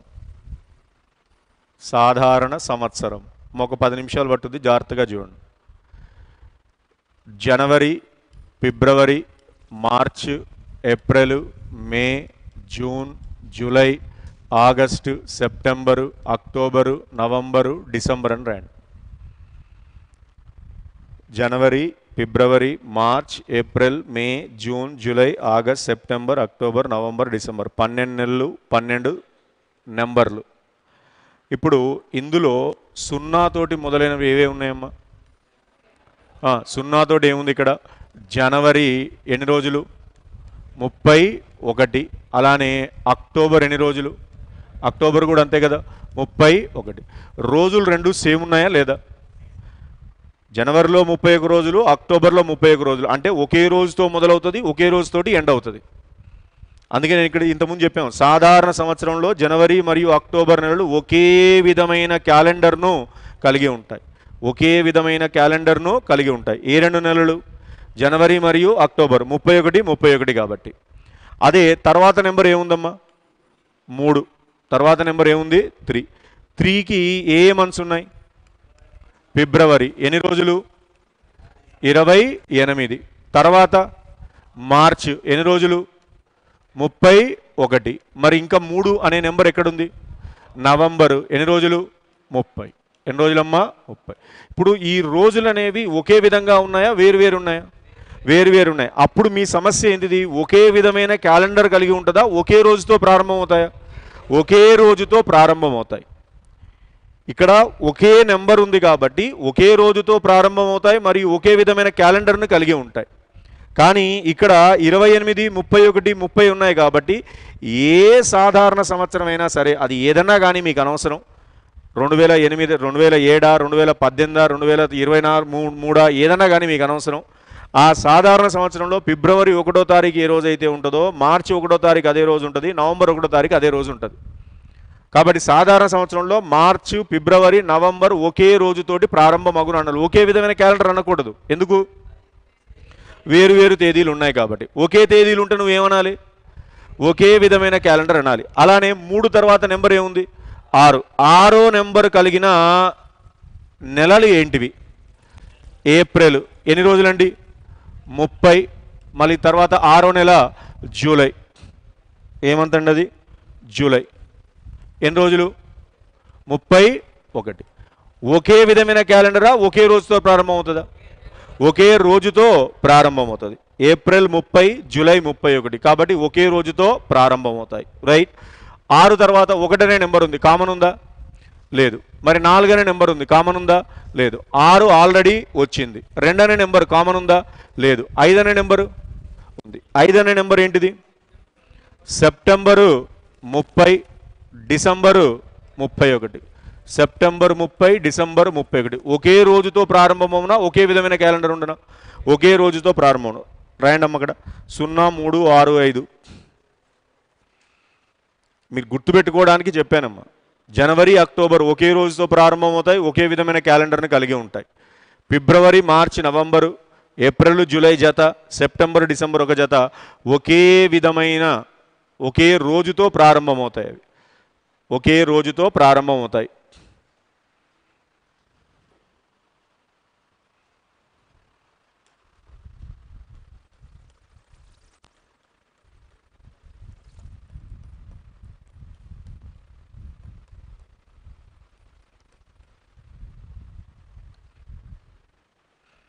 ఇవన్నీ ఒకే రోజుతో ప్రారంభమవుతాయి కాదమ్మా. ఇది ఆదివారం ఉంటే ఇవన్నీ ఆదివారం ఉంటాయని కాదు. మళ్ళీ వేరే విధంగా అర్థం చేసుకున్నారు జనవరి ఏ రోజు స్థా మొదలైద్దో అక్టోబర్ కూడా ఆ సంవత్సరంలో అదే రోజుతో మొదలవుతుంది. ఫిబ్రవరి మొదటి రోజు ఏ రోజు అయితే ఉంటుందో మార్చి అదే రోజు ఉంటుంది నవంబర్ అదే రోజు ఉంటుంది. ఈ స్టార్ మార్క్ పెట్టిన వాటికి స్టార్ మార్క్ పెట్టండి. March November April July. మార్చి నవంబర్ ఒక జత. March November.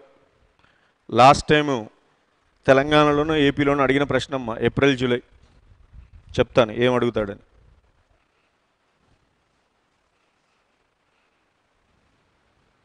మార్చి November April July September December. అవి స్టార్ మార్క్ పెట్టండి.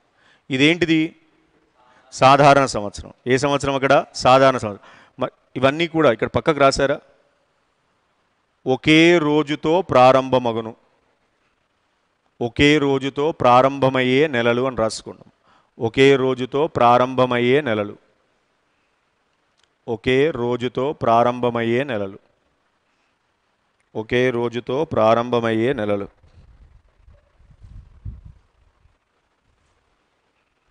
ఒకే రోజుతో ప్రారంభమయ్యే నెలలు.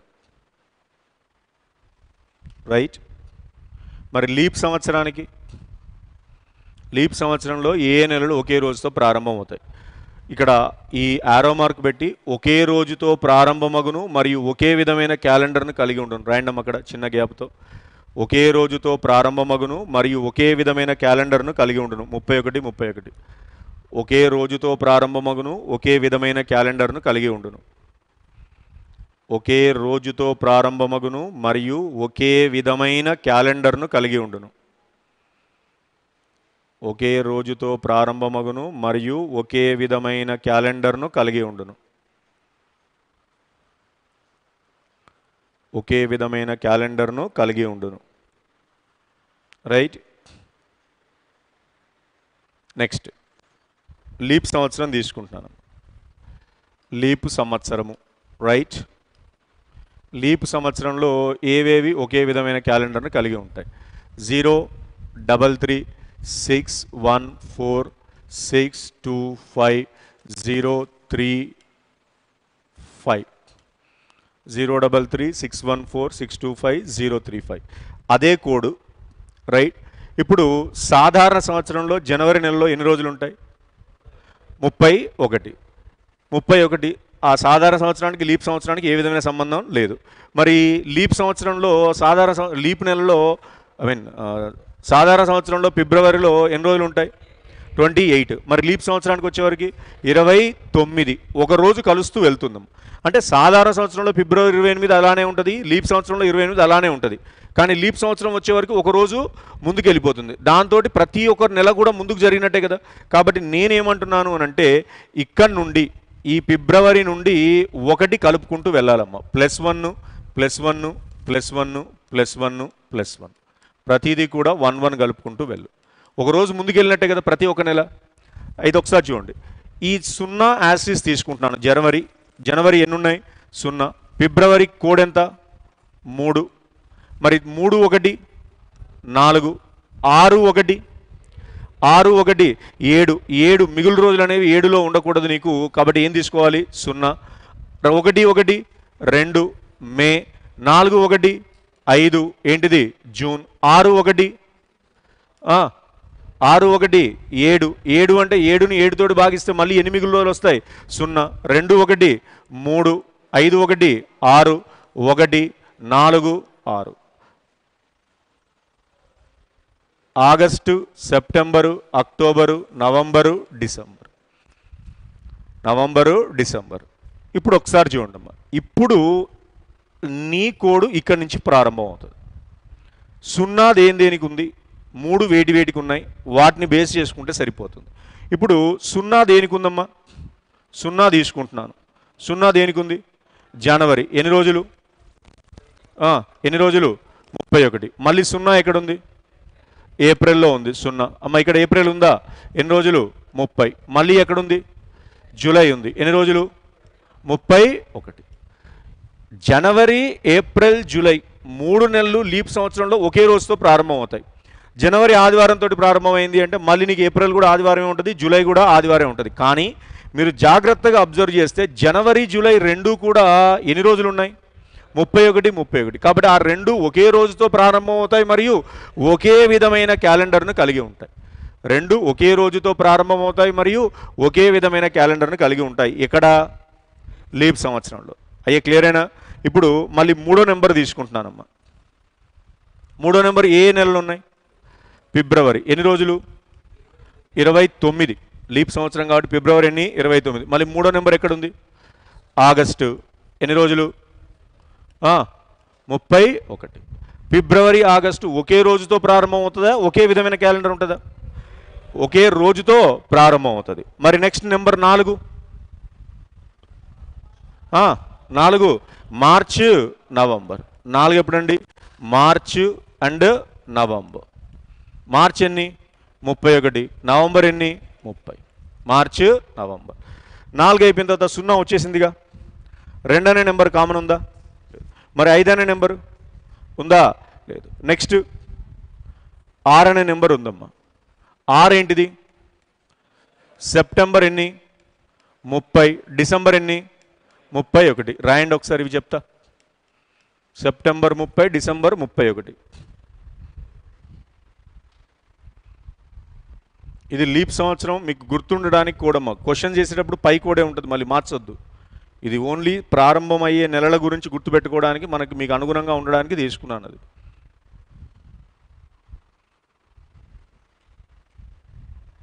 కొంచెం కాపీ చేయండి అది.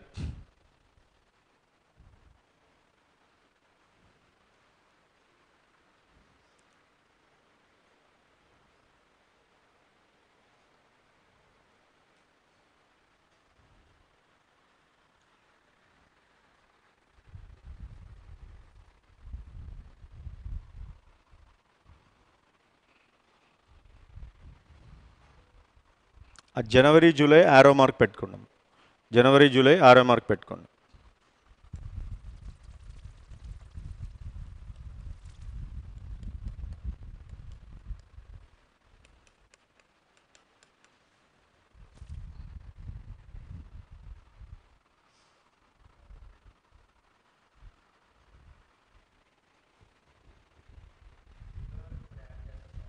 ఫిబ్రవరి యాడ్ చేయకూడదు. చేయకూడదు. ఫిబ్రవరి ఇరవై ఎనిమిది తర్వాత రోజు నుంచి మనకు మార్చిలో కలుస్తుంది. ఫిబ్రవరి ఒకటో తారీఖు కలవదు కదా?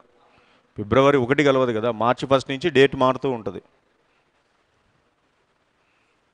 ఇది మనము ఫస్ట్ డేట్ నుంచి కౌంట్ చేస్తున్నాము. మొత్తం చివరి రోజు కాదు. ఇక్కడ మీరు ఒకటి ఇక్కడ కలవకూడదు. మార్చి ఫస్ట్ నుంచి తేదీ మారుకుంటూ వెళ్తుంది.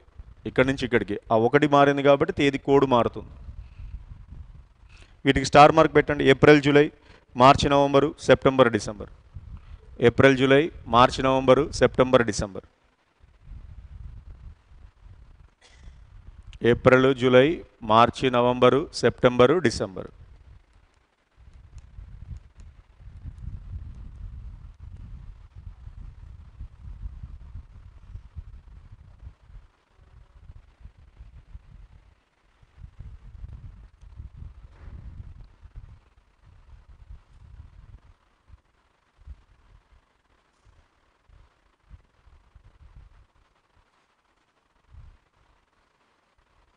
సో ఇక్కడ మీరు స్టార్ మార్క్ పెట్టినవి కనుక అబ్జర్వ్ చేస్తే అది సాధారణ సంవత్సరంలోనైనా లీప్ సంవత్సరంలోనైనా ఏప్రిల్ జూలై కానీ మార్చి నవంబర్ కానీ సెప్టెంబర్ డిసెంబర్ ఒకే రోజుతో మొదలవుతాయమ్మా. సాధారణ సంవత్సరమైనా లీప్ సంవత్సరమైనా మనకు అడిగిన ప్రశ్న ఏంటి అని అంటే ఏ సంవత్సరమైనా ఒకే రోజుతో ప్రారంభమయ్యే నెలలు క్రింది వాణిలో అని అడిగాడమ్మ. ఈ క్రింది వాణిలో ఏ సంవత్సరంలోనే ఏ సంవత్సరం అంటే? లీప్ కానీ సాధారణ సంవత్సరాలు కానీ ఒకే రోజుతో ప్రారంభమయ్యే నెలల జత. అక్కడ మనకిచ్చిన ఆప్షను ఒకటి ఏప్రిల్ జూలై జనవరి అక్టోబరు రకరకాలుగా ఇచ్చారు. కాబట్టి ఏ సంవత్సరమైనా మనకు వచ్చేది ఏంటిది అక్కడ? ఏప్రిల్ జూలై మార్చి నవంబరు సెప్టెంబరు డిసెంబరు. ర్యాండమ్ ఒక నోట్ రాసి. ఇది రాశారండి? రాశారా? ఏ సంవత్సరములోనైనా ఏ సంవత్సరంలోనైనా బ్రాకెట్లో ఏ సంవత్సరంలోనైనా బ్రాకెట్లో సాధారణ కామా లీపు. ఏ సంవత్సరంలోనైనా బ్రాకెట్లో సాధారణ కామా లీపు.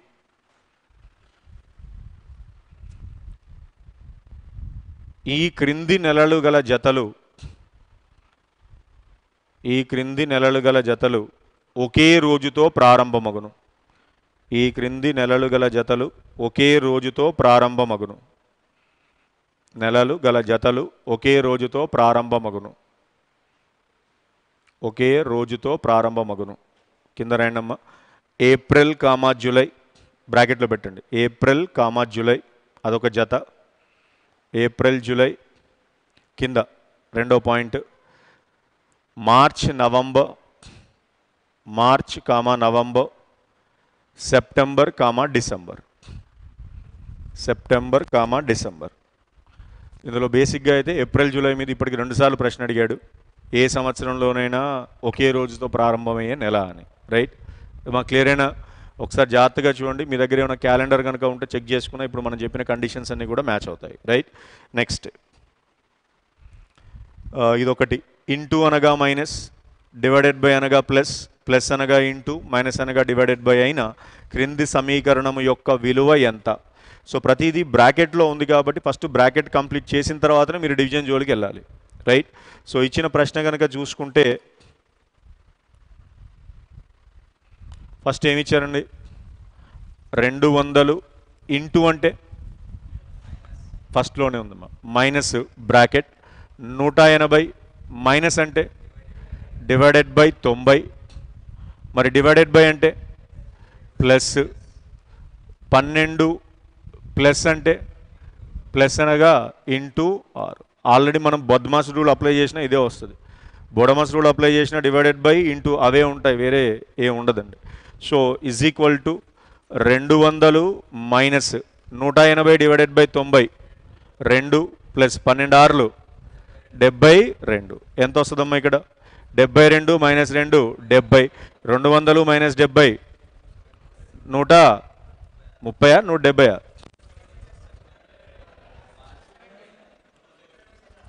ఒక నిమిషం రెండు వందలు ప్లస్ డెబ్బై రెండు వందల డెబ్బై. నేను మైనస్ చేశాను తొందరపడు మాకు. రెండు వందల డెబ్బై. రెండు వందలు ప్లస్ డెబ్బై రెండు వందల డెబ్బై. రాయండమ్మది డెబ్బై మూడో ప్రశ్న. డెబ్బై మూడు. రెండు వందలు ఇంటూ అనగా మైనస్ నూట ఎనభై divided by ninety. Plus twelve into seventeen అది యాస్టీజ్ అలానే ఉంది.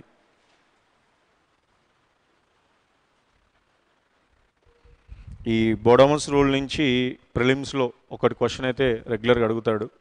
ఒకసారి అది చెక్ చేయండి. ఫస్ట్ ఏం కంప్లీట్ చేయాలి? డివిజను తర్వాత మల్టిప్లికేషను తర్వాత అడిషను లేదా సబ్ట్రాక్షన్ ఒకవేళ బ్రాకెట్ పార్ట్ సపరేట్గా ఇచ్చాడు అనుకోండి ఫస్ట్ బ్రాకెట్ కంప్లీట్ చేసిన తర్వాతనే మిగతావి మనం తీసుకోవాలి. రైట్ నెక్స్ట్ అయిపోయిందా? కంప్లీట్ అయిందా? One early morning two friends Vikram and Shailesh were standing in a lawn with their backs to each other ఈ Vikram shadow falls to his left side దాని మిర్చి డైరెక్షన్ శైలేష్ ఫేసింగ్ ఒక ఉదయం సమయములో ఉదయం సూర్యోదయం తర్వాత విక్రమ్ మరియు శైలేష్ పచ్చిక మైదానంలో వారి వీపులు ఆనుకున్న విధముగా నిల్చొని ఉన్నారు. విక్రమ్ యొక్క నీడ తనకు ఎడం వైపు పడిన శైలేష్ ఏ దిల్చెలో నిల్చొని ఉన్నాడు. ఉదయము సమయములో ఉదయము సమయములో ఇద్దరు కూడా వీపులు ఆనుకున్న విధముగా ఎదురెదురుగా వీపులు ఆనుకున్న విధముగా రెండు కండిషన్లు ఒకటేనండి మనం కన్ఫ్యూజ్ అవుతాం. ఎదురెదురుగా అన్న ఇలానే ఉంటుంది వీపులు ఆనుకున్న విధంగా ఇద్దరు కూడా వ్యతిరేక దిశలోనే ఉంటారు. సో వీపులు ఆనుకున్న విధంగా అని చెప్పి మీరు కన్ఫ్యూజ్ అవ్వడానికి లేదు. సో మనకి ఏ కండిషన్ అన్నాడు? ఉదయము సూర్యోదయం తర్వాత. సూర్యోదయం తర్వాత ఇద్దరు ఇలా ఆపోజిట్లో నిలబడ్డారు. అలా ఒక వ్యక్తి యొక్క నీడ ఎటుబడింది? ఎడమవైపు పడితే ఎవరి నీడ? విక్రమ్ యొక్క నీడ తనకు ఎడం వైపు. విక్రమ్కే ఎడం వైపు పడింది. అయితే శైలేష్ ఏ దిశలో ముఖం చేశాడు? శైలేష్ ఏ దిశలో ముఖం చేశాడు? రైట్ ఒకసారి సెవెంటీ ఫోర్ ఇది రాస్తారా క్వశ్చన్? రైట్ ఒకసారి చూడండి అమ్మ ఇక్కడ. రాశారా? రాస్తారా? రాయండి అమ్మా క్వశ్చన్ రాయండి అది ఎక్స్ప్లెయిన్ చేయాలి నేను. ఉదయం సమయంలో ఎప్పుడు తీసుకోవాలి? సాయంత్రం సమయంలో ఆ బాక్స్ ఒకసారి తీసుకుంటే సరిపోతుంది. ఉదయం సమయంలో నీడబడినప్పుడు ఎటెటు ఉంటుంది? సాయంత్రం సమయంలో నీడబడినప్పుడు ఎటెటు తీసుకోవాలి?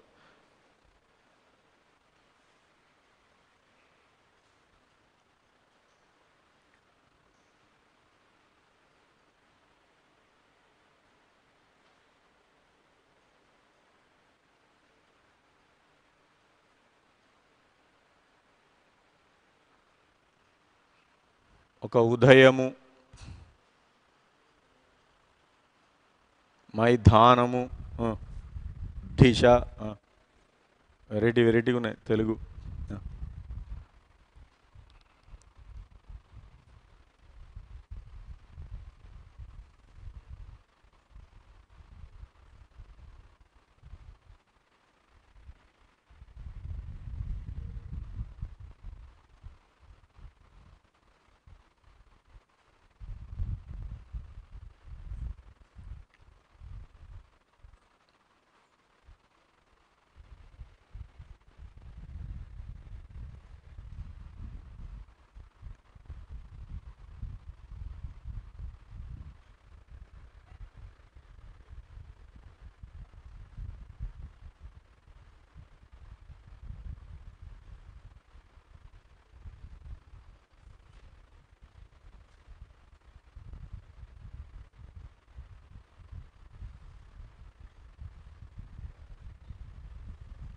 క్లియర్ అయినా? సో ఈ నీడలకు సంబంధించి కంటెంట్ ఒకసారి చూడండి. ఉదయము రైట్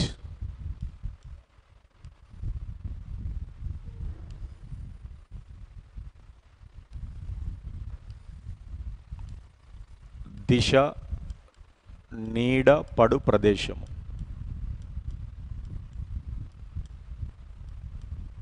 రైట్ సో మొత్తం నాలుగు దిశలమ్మ. తూర్పు పడమర రైట్ ఉత్తరము దక్షిణం. మీరు తూర్పును ఎటువైపు తీసుకోవాలి? తూర్పు ఎటువైపు తీసుకోవాలి? కుడివైపు. మీరు ఎటువైపు అయితే ముఖం చేస్తారో ఆ దిశను సబ్జెక్టు ప్రకారంగా మీరు ఎటువైపు అయితే ముఖం చేస్తారో ఆ దిశను ఉత్తర దిశగా తీసుకోవాలి. మీరు ఎటువైపు ముఖం చేసి ఇప్పుడు మీరు ఇలా ముఖం చేశారు ఏ దిశ? ఉత్తర దిశ. ఇప్పుడు నేను ఇలా ముఖం చేశాను ఇది నాకే దిశ? ఉత్తర దిశ. మీకు దక్షిణం అవుతుందమ్మా. మీకు ఎదురుగా నేను నిలబడితే అది దక్షిణం. నేను ఎటువైపు అయితే ముఖం చేస్తానో అది ఉత్తర దిశ. సబ్జెక్టు ప్రకారమే. రైట్ ఇప్పుడు ఒక ఉదయము సూర్యోదయము తర్వాత ఒక ఉదయము సూర్యోదయము తర్వాత ఉదయము అని అంటే సూర్యుడు ఎక్కడ ఉంటాడు? తూర్పు వైపు ఉంటాడు. మీరందరూ ఇటువైపు ముఖం చేశారు మీ తూర్పు వైపు సూర్యుడు ఉన్నాడమ్మా. సూర్యుడు తూర్పులో ఉన్నాడు అని అంటే సూర్యుడు తూర్పులో ఉన్నాడు అంటే ఖచ్చితంగా నీడు ఎడబడాలి. ఎడవైపు పడాలి పడమర వైపు పడాలి. రైట్ ఇటే పడుతుంది. ఇంకా ఆప్షనే లేదు అందులో. సూర్యుడు ఎక్కడ ఉన్నాడు. ఉదయం సూర్యోదయం తర్వాతే అన్నారు. సూర్యుడు ఎక్కడ ఉన్నాడు నీడెటు పడుద్ది ఒక వ్యక్తి ఉదయం సమయంలో తూర్పు వైపు ఇటు సూర్యుడు ఎక్కడైతే ఉన్నాడో సూర్యుడికి ఎదురుగా నడుస్తూ ఉన్నాడండి. తూర్పు వైపు సూర్యుడికి ఎదురుగా నడుస్తూ ఉన్నాడు. అప్పుడు అతని నీడ ఎటువైపు పడుతుంది. పడమర అని చెప్పకూడదు. అతనికి ఎటువైపు పడుతుంది. ఇప్పుడు నేను ఇలా వెళ్తున్నాను అనుకోండి నా నీడ నాకు ఎటు ఉంటుంది? వెనక వైపు. సూర్యుడు ముందున్నాడు కాబట్టి నా నీడ ఎటువైపు పడుతుంది? వెనుకవైపు అదే పదం యాజ్టీజ్ రాస్తున్నానమ్మా వెనుక వైపు వెనుక అని రాస్తున్నాను సూర్యుడు తూర్పులోనే ఉన్నాడు. సూర్యుడు తూర్పులోనే ఉన్నాడు. వ్యక్తి ఇలా పడమర వైపు వెళ్తున్నాడు. అంటే సూర్యుడు నాకు ఎటున్నాడు? వెనక వైపు ఉన్నాడు. నేను ఇలా ముందుకు నడుస్తూ ఉన్నాను. అంటే ఎటువైపు నడుస్తున్నాను? పడమర వైపు నడుస్తున్నాను. అప్పుడు నా నీడ ఎటువైపు పడుతుంది? ఎటువైపు పడుతుంది? ముందు వైపు పడుతుంది. కాబట్టి ఇక్కడ నీ పదం ఏముండాలి? ముందు వైపు అని ఉండాలి. ఏముండాలి అక్కడ? ముందు వైపు. అదే ఉదయం సమయంలో వ్యక్తి సూర్యుడు ఇక్కడ ఉన్నాడమ్మా తూర్పు. వ్యక్తి ఇలా ఉత్తరం వైపు నడుస్తూ ఉన్నాడు. ఇలా స్ట్రైట్గా నడుస్తుంటే నీడు ఎడవైపు పడుతుంది? ఎడమ వైపు. ఉత్తరానికి నడిస్తే నీడు ఎడవైపు పడుతుంది? ఎడమ. ఈ ప్రతి సందర్భంలోనూ కూడా మిమ్మల్ని మీరు ఊహించుకుంటే ఈజీగా ఉంటుంది ఎడమ వైపు పడుతుంది. ఉత్తరంకి ఎడం వైపు అంటే ఇప్పుడు నేను మీరు సూర్యుడు ఎక్కడ ఉన్నాడమ్మా నేను ఇలా ఈ ముఖంలో ఇటు వెళ్తున్నాను. నాకు ఇది మీరు ఇటువైపు పే చేశారు నాకు ఏమవుతుంది? దక్షిణమే కదా. ఇలా నేను దక్షిణానికి వెళ్తే నా నీడ ఎటువైపు పడుతుంది? ఇప్పుడు నన్ను ఫాలో అవుతూ వస్తుంది. ఏ- ఏ దిశలో? దక్షిణానికి వెళ్ళినప్పుడు ఎటువైపు? కుడివైపు. కాబట్టి ఇది కుడివైపు. ఇది ఎలా అడుగుతాడు ప్రశ్న అంటే ఒక ఉదయం సూర్యోదయం తర్వాత ఒక మైదానంలో ఒక ఉదయము సూర్యోదయం తర్వాత ఒక మైదానంలో వ్యక్తి పరిగెడుతూ ఉన్నాడు. ఏ దిశలో పరిగెడుతున్నాడు? ఉదయం సూర్యోదయం తర్వాత మొత్తం మూడు వందల అరవై డిగ్రీలు ఉంటుందమ్మా ఆ మైదానం అనేది. ఏ దిశలో పరిగెడుతున్నాడంటే మనం చెప్పలేం. కానీ సూర్యోదయం తర్వాత సూర్యోదయం తర్వాత వ్యక్తి ఒక మైదానంలో పరిగెడుతున్నప్పుడు తన నీడ కుడివైపు పడినట్లుగా గ్రహించాడు. తన నీడ ఎటువైపు పడినట్లు కుడివైపు పడినట్లుగా గ్రహించాడు. ఎప్పుడు? ఉదయం. ఉదయం సమయంలో నీడ కుడివైపు పడింది అని అంటే ఖచ్చితంగా వ్యక్తి ఎటువైపు ప్రయాణం చేస్తున్నట్టు? దక్షిణానికే ప్రయాణం చేస్తున్నట్టు. నీ సమాధానం ఇదమ్మా. ఉదయం అంటాడు ఈ నాలుగు పదాలలో ఏదో ఒక పదం వాడతాడు. వాడిన పదాలను బట్టి మనం సమాధానం చేయాల్సింది ఇది. ఒక ఉదయం సమయంలో నువ్వు ప్రయాణిస్తున్నప్పుడు నువ్వు కారులో ప్రయాణిస్తున్నప్పుడు నీ కారు యొక్క నీడ ముందు వైపు పడింది. కారు యొక్క నీడ ముందు వైపు పడింది. ఉదయం సూర్యోదయం తర్వాత. అంటే ఏ దిశలో ప్రయాణం చేస్తున్నారు? ఉదయం సమయంలో ముందు వైపు పడింది అంటే ఖచ్చితంగా మీరు ఎటువైపు ప్రయాణం చేస్తున్నాడు? పడమర వైపు. ఇప్పుడు నాకు సూర్యుడు అనుకున్నాడు తూర్పులో. నేను ఇలా కారులో ముందుకెళ్తున్నా నా నీడ ముందు పడింది అంటే ఖచ్చితంగా నేను ఎటుపోతే నాకు ముందు పడుతుంది? పడమర వైపే కదా. కాబట్టి ఉదయం సమయంలో ముందు వైపు పడింది అని అంటే వ్యక్తి ఎటువైపు ముఖం చేసినట్టు? పడమర వైపు ముఖం చేసినట్టు. లేదా కారు పడమర దిశలో వెళ్తున్నట్టు. కాబట్టి ఈ ఉదయం సమయంలో ఈ పదాలను బేస్ చేసుకొని నువ్వు దిశలను తీసుకోవచ్చు. ఇదే సాయంత్రం విషయానికి వస్తే. సాయంత్రంలో సూర్యుడు ఎక్కడ ఉంటాడు? సాయంత్రం సూర్యుడు ఎక్కడ ఉంటాడు? పడమరలో ఉంటాడు. సూర్యుడు పడమరలో ఉంటే నీడ? ఆ, నీడ ఎటువైపు పడుతుంది? తూర్పు వైపు పడుతుందమ్మా. దిశ నీడ పడు ప్రదేశము. నీడ పడు ప్రదేశము. ఈడ కూడా మళ్ళీ నాలుగు కండిషన్లు. తూర్పు పడమర ఉత్తరము దక్షిణం. తూర్పు పడమర ఉత్తరము దక్షిణం. తూర్పు పడమర ఉత్తరము దక్షిణం. ఇప్పుడు సాయంత్రం సమయములో సూర్యుడు ఎక్కడ ఉంటాడు పడమరలో. నీడు ఎటువైపు పడుతుంది? తూర్పు వైపు పడుతుంది. నీడు ఎటువైపు పడుతుంది? తూర్పు వైపు.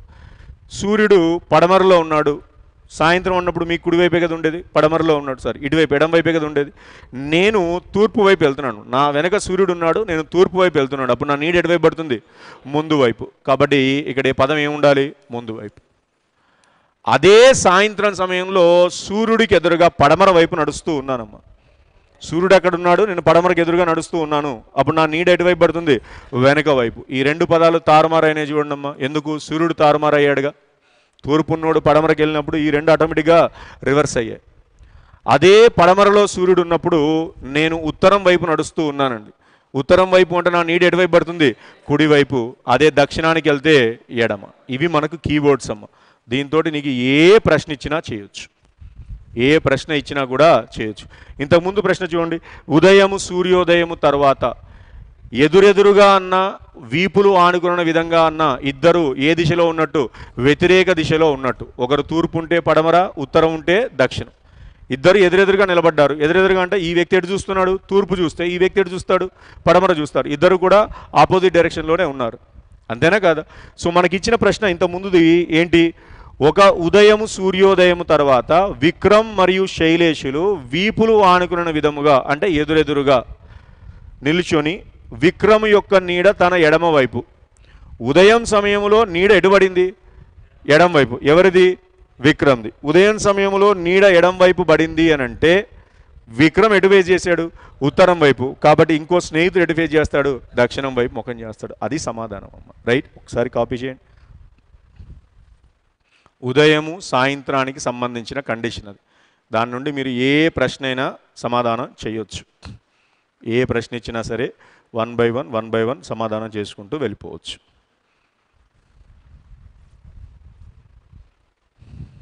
ఏమైందమ్మా?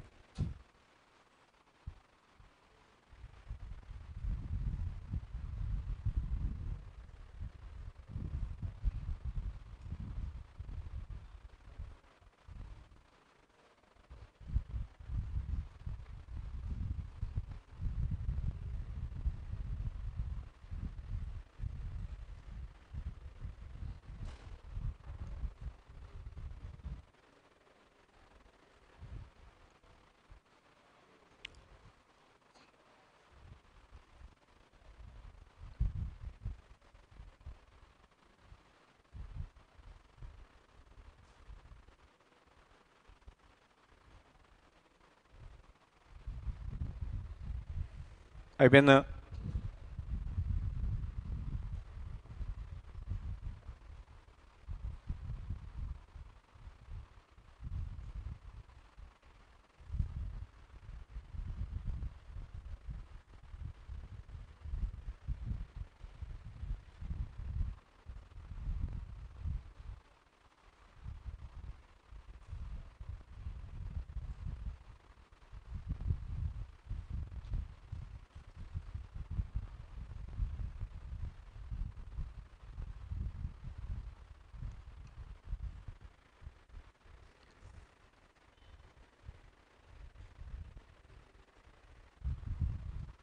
రైట్. కంప్లీట్ అయిందా? నెక్స్ట్ అమ్మా. బి యొక్క సోదరుడు ఏ ఏ యొక్క తల్లి సి డి యొక్క మనవరాలు బి ఏ యొక్క కుమారుడు ఎఫ్. అయినా డికు ఎఫ్ ఏ మగును. రక్త సంబంధాలకు సంబంధించి.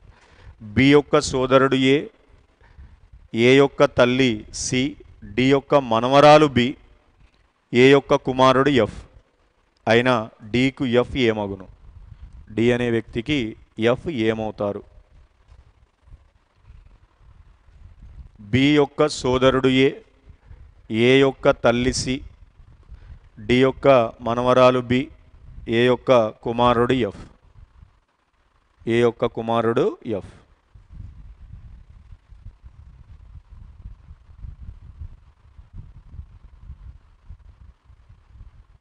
ఈ ఒక క్వశ్చన్ తీసుకోండి. మిగతా ఐదు మీరు ట్రై చేయండి. బ్రేకా? బ్రేక్ ఉందా? ఏం లేదుగా? ఉందా?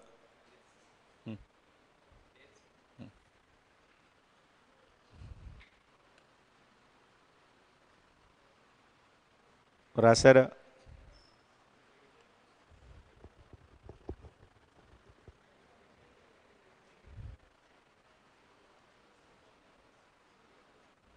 రాశారమ్మా.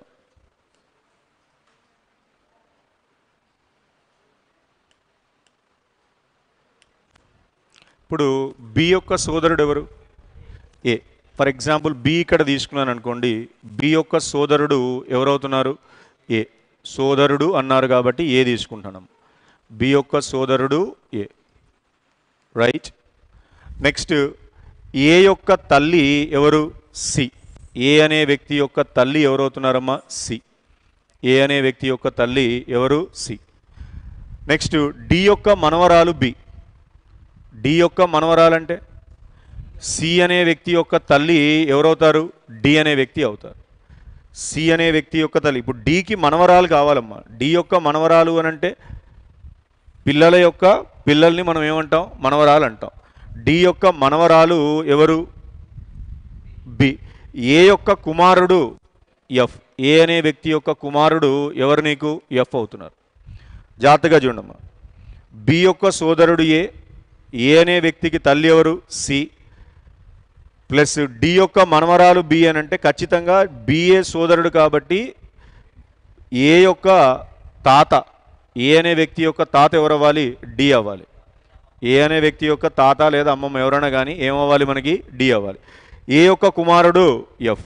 అయితే డి అనే వ్యక్తికి ఎఫ్ ఏమగును ఎఫ్ ఏమవుతారు? మనవడు ముని మనవడు. ఏమంటాం మనం? గ్రేట్ గ్రాండ్ సన్ ఎందుకు? కుమారుడు కాబట్టి.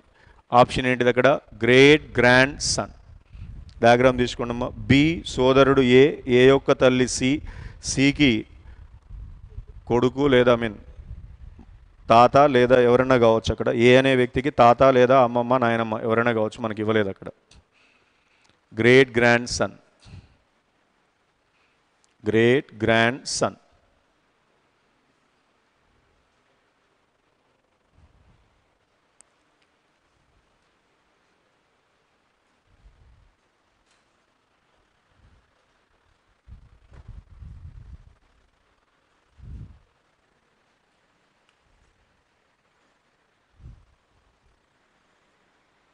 right ఒక్క నిమిషం అమ్మా. క్వశ్చన్స్ చూస్తాను. రైట్ ఈ యొక్క ఫైవ్ క్వశ్చన్స్ ఉన్నాయి. ఇది ఒకసారి ఉంచండి లేదంటే కాపీ చేసుకున్న తర్వాత. రైట్ కాపీ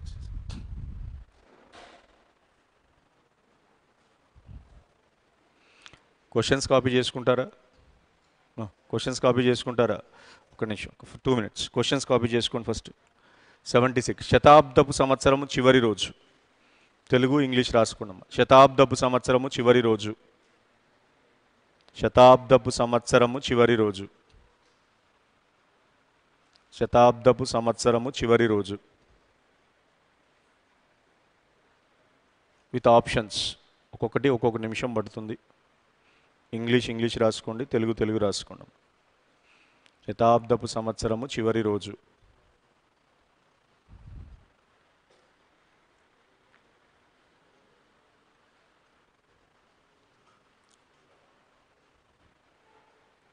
రైట్ మా కంప్లీట్ అయిందా? ఎనిమిది ఇరవై సూచించిన దాని యొక్క ప్రతిబింబము అద్దములో. గడియారము ఎనిమిది ఇరవై సూచించినప్పుడు దాని యొక్క ప్రతిబింబము అద్దములో. డెబ్బై ఏడు. ఎనిమిది ఇరవై సూచించినప్పుడు ప్రతిబింబము అద్దములో. గడియారము ఎనిమిది ఇరవై సూచించినప్పుడు ప్రతిబింబము అద్దములో.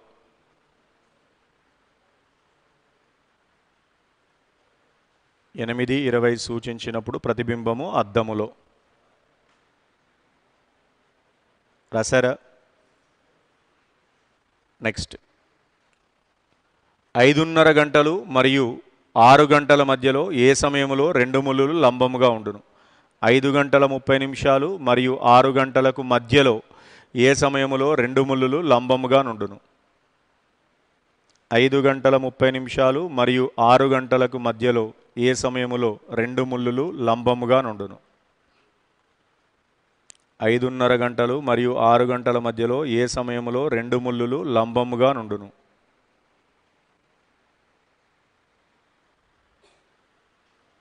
రెండు ముళ్ళులు లంబముగా నుండును. ఐదు గంటల ముప్పై నిమిషాలు మరియు ఆరు గంటలకు మధ్యలో ఏ సమయంలో రెండు ముళ్ళులు లంబముగా నుండును. మా క్లియరేనా నాలుగు మరియు ఐదు గంటల మధ్యలో నాలుగు మరియు ఐదు గంటల మధ్యలో నాలుగు మరియు ఐదు గంటల మధ్యలో నాలుగు మరియు ఐదు గంటల మధ్యలో ఏ సమయములో రెండు ముళ్ళులు ఏకీభవించును? నాలుగు మరియు ఐదు గంటల మధ్యలో ఏ సమయములో రెండు ముళ్ళులు ఏకీభవించును? ఏ సమయములో రెండు ముళ్ళులు ఏకీభవించును? ఏకీభవించును. రైట్? సో చివరి ప్రశ్న. శతాబ్దపు సంవత్సరము మొదటి రోజు ఏ రోజుతో మొదలు కాదు. శతాబ్దపు సంవత్సరము మొదటి రోజు ఏ రోజుతో మొదలు కాదు. శతాబ్దపు సంవత్సరము మొదటి రోజు ఏ రోజుతో మొదలు కాదు. శతాబ్దపు సంవత్సరము మొదటి రోజు ఏ రోజుతో మొదలు కాదు. శతాబ్దపు సంవత్సరం మొదటి రోజు ఏ రోజుతో మొదలు కాదు. రైట్? సో యాక్చువల్గా ఈ శతాబ్దపు సంవత్సరం ఈ చివరి ఐదు ప్రశ్నలు ఒకసారి మీరు ట్రై చేయండి. రైట్? సో లేదు అనుకుంటే నెక్స్ట్ క్లాస్లో రిమైనింగ్ చాప్టర్స్ కూడా బ్యాలెన్స్ ఉన్నాయి కదా వాటిని కలిపి కంప్లీట్ చేస్తాను. ఇస్ దట్ క్లియర్ ఓకే అమ్మా థ్యాంక్ యూ ప్రశాంత్. రైట్ మాట్లాడదాం